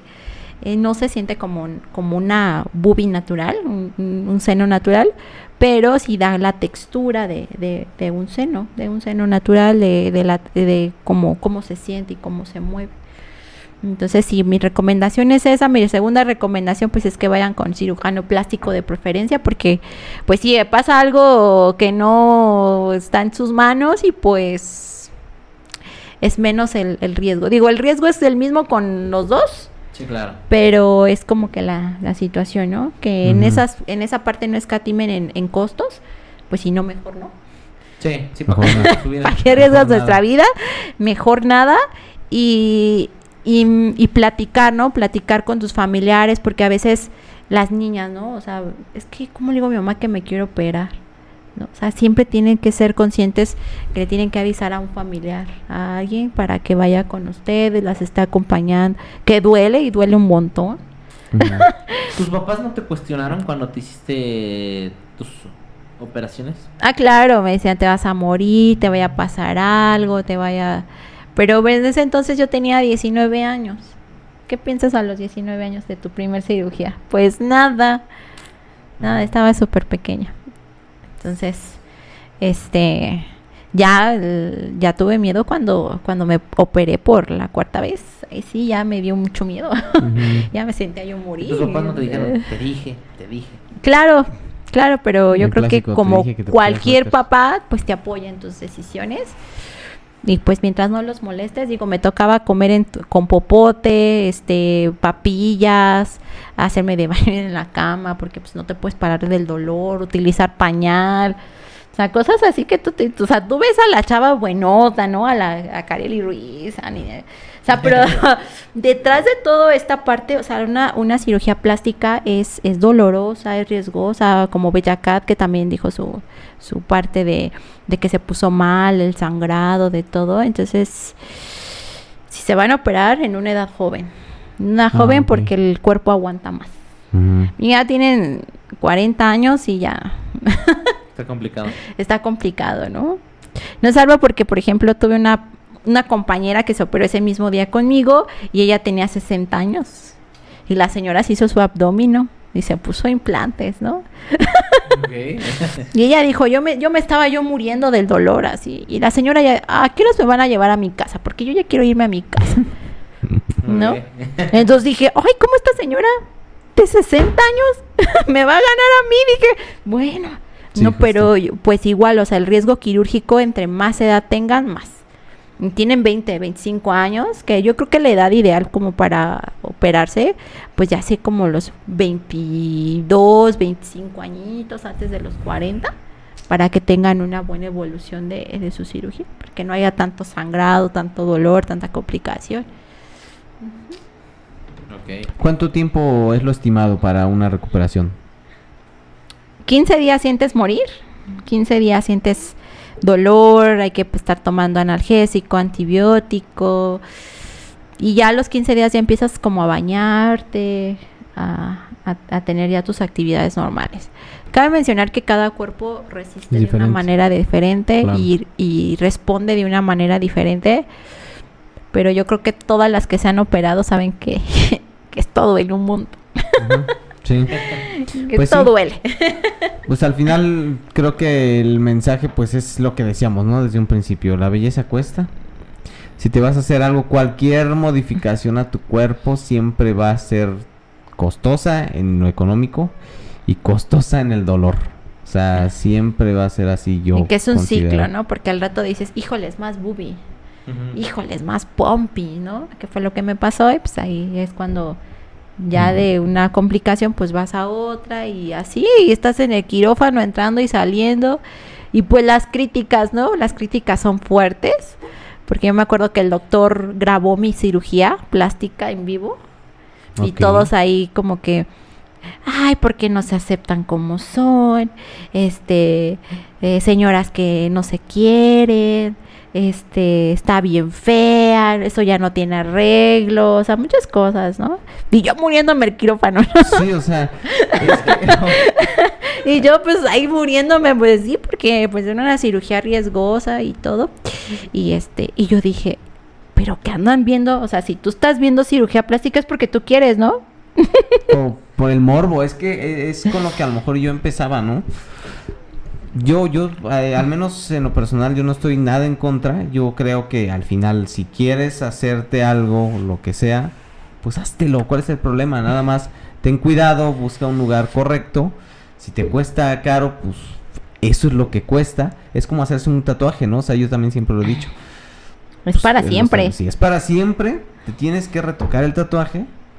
Eh, si te cuesta caro, pues es porque te lo van a hacer con buenos materiales, con la higiene correcta y después no vas a tener problemas. Pero también tiene, como, como decimos, ¿no? Tiene sus cosas que tienes que hacer, tienes que cuidártelo, ponerte tu crema, lo demás, o sea, todo lo que lle- conlleva. Sí, claro, o sea, el estar en reposo, estar tomando tus medicamentos y todo, pues es lo más importante, o sea, igual como, como un tatuaje, como un, un piercing, algo, es invasivo a tu cuerpo, es algo que no va ahí, tú pues, puedes tener rechazo. ¿no? Digo, yo ya viví para contarlo, pero igual pues, yo estuve consciente que yo me pude morir en la cirugía y me pudo pasar por vanidosa. Sí. ¿no? Por vanidosa, por vanidosa me pasó todo esto. Yo lloraba del dolor. Yo lloraba por no poder pararme a hacer cosas básicas, hacer del baño, tomar agua, cosas que tú dices, pues las haces como comúnmente diario y valoras, valoras cuando estás en la cama y no sabes, no, no haces nada de eso, dices, no inventes, o sea, ¿qué daño le hago a mi cuerpo? ¿Qué necesidad había de hacer de todo esto? Tú me dices Sí. que me arrepiento de haberme operado. No, porque la verdad es que, pues, como estoy en este medio de la, mm, de la medicina estética, pues tú dices, no, pues, es como que, como que la imagen, ¿no? O sea, no puedes estar gordita, no puedes, no puedes estar como que planita. es parte de la imagen, pero este pero yo creo que sí me hubiera aceptado como era y no me hubiera operado tanto o a lo mejor nada más me hubiera hecho una y ya, pero no, Pasa. Círculo vicioso. círculo. Y es precisamente que es lo que le digo a las pacientes, por favor no caigan en ese círculo.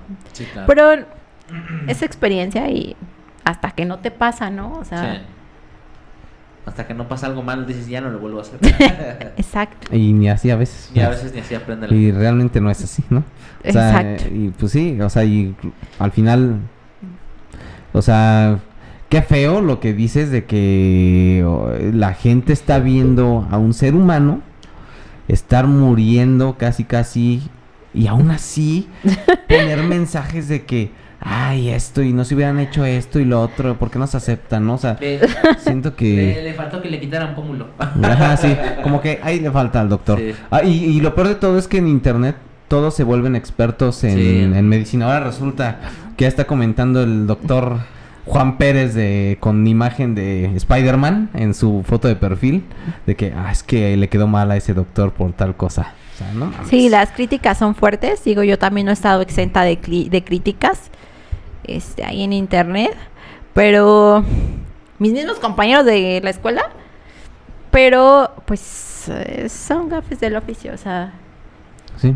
mientras tú no contestes y te valga y todo, o sea, Que te sientas feliz con lo sientas que tú- feliz con lo que tengas y colocas. Yo estoy consciente que al rato igual güey, tengo que volver a entrar a quirófano, o sea, porque el implante se me puede voltear, encapsular, ¿no? algo me puede pasar y yo eso cuando yo entré a este mundo de la estética, de operarme y estarme haciendo cosas, pues sé que tengo que estarme ahí.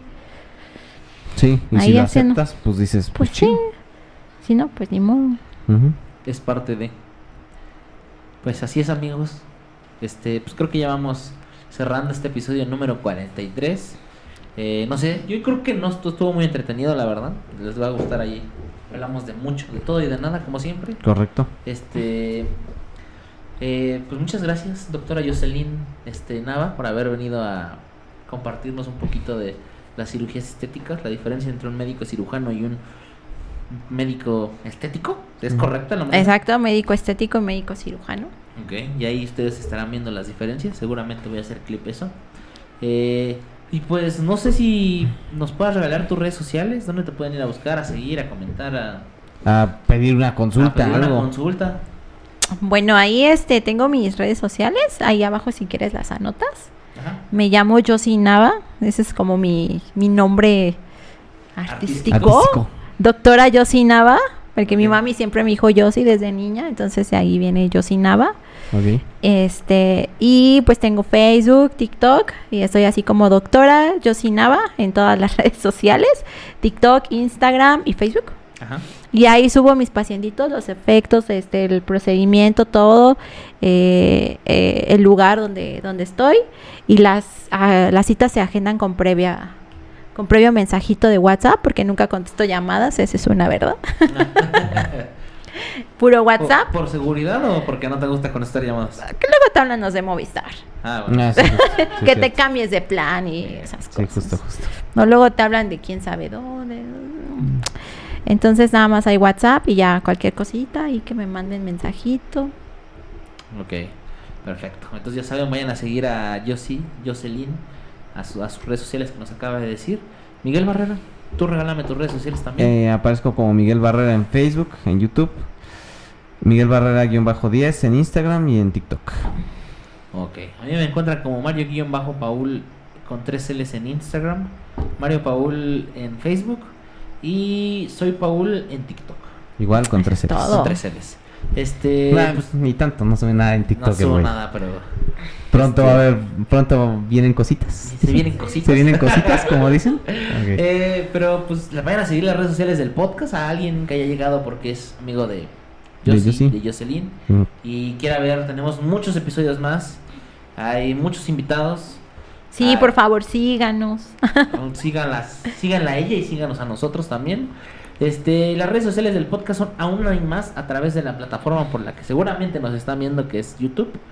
Aún hay más guion bajo podcast en TikTok. Y Miguel Barrera, ¿cuáles son las otras? Aún hay más, guion bajo podcast también en Instagram. Y aún hay más con el signo de más en Facebook. Ok. Pues muchísimas gracias por haberse quedado hasta el final de este episodio número 43. Ya saben que lo digo y lo diré siempre. Muchas gracias porque por ustedes se hace esto. Ujú. Vamos, sean 5, 10, 15, 20, 25, 50. Si hoy son 300 personas, eh, no sé cuánto, cuánto, cuántas personas vayan a ver el episodio de esta Jocelyn, pero pues que estén aquí, ¿no? Ya saben que Miguel, y- Miguel Barrera y yo somos. A ver, no, espérate, no, no, no. Sí, güey, sí es así. Sí, sí, ¿no? No, no, no. No, muchas gracias por haberse quedado hasta el Ah, sí, final sí, sí. del podcast que no pidieron, pero que definitivamente sí necesitaban, amigos. Eh, Miguel Barrera, ¿qué somos? Dos expertos en nada, hablando de todo. Aunque a veces tenemos a una persona en medio que sí es experta en el tema que estamos hablando. Es correcto. Aprecien estos, eh, estos episodios con mujeres, ¿eh? Porque ahorita vino ella y quién sabe cuándo vuelvo a ver una mujer aquí en el centro, entonces... Complicado. Sí, está complicado. Pero pues nuevamente muchas gracias y nos vemos la próxima semana en un episodio más de su podcast no favorito. Adiós y nos vemos la próxima.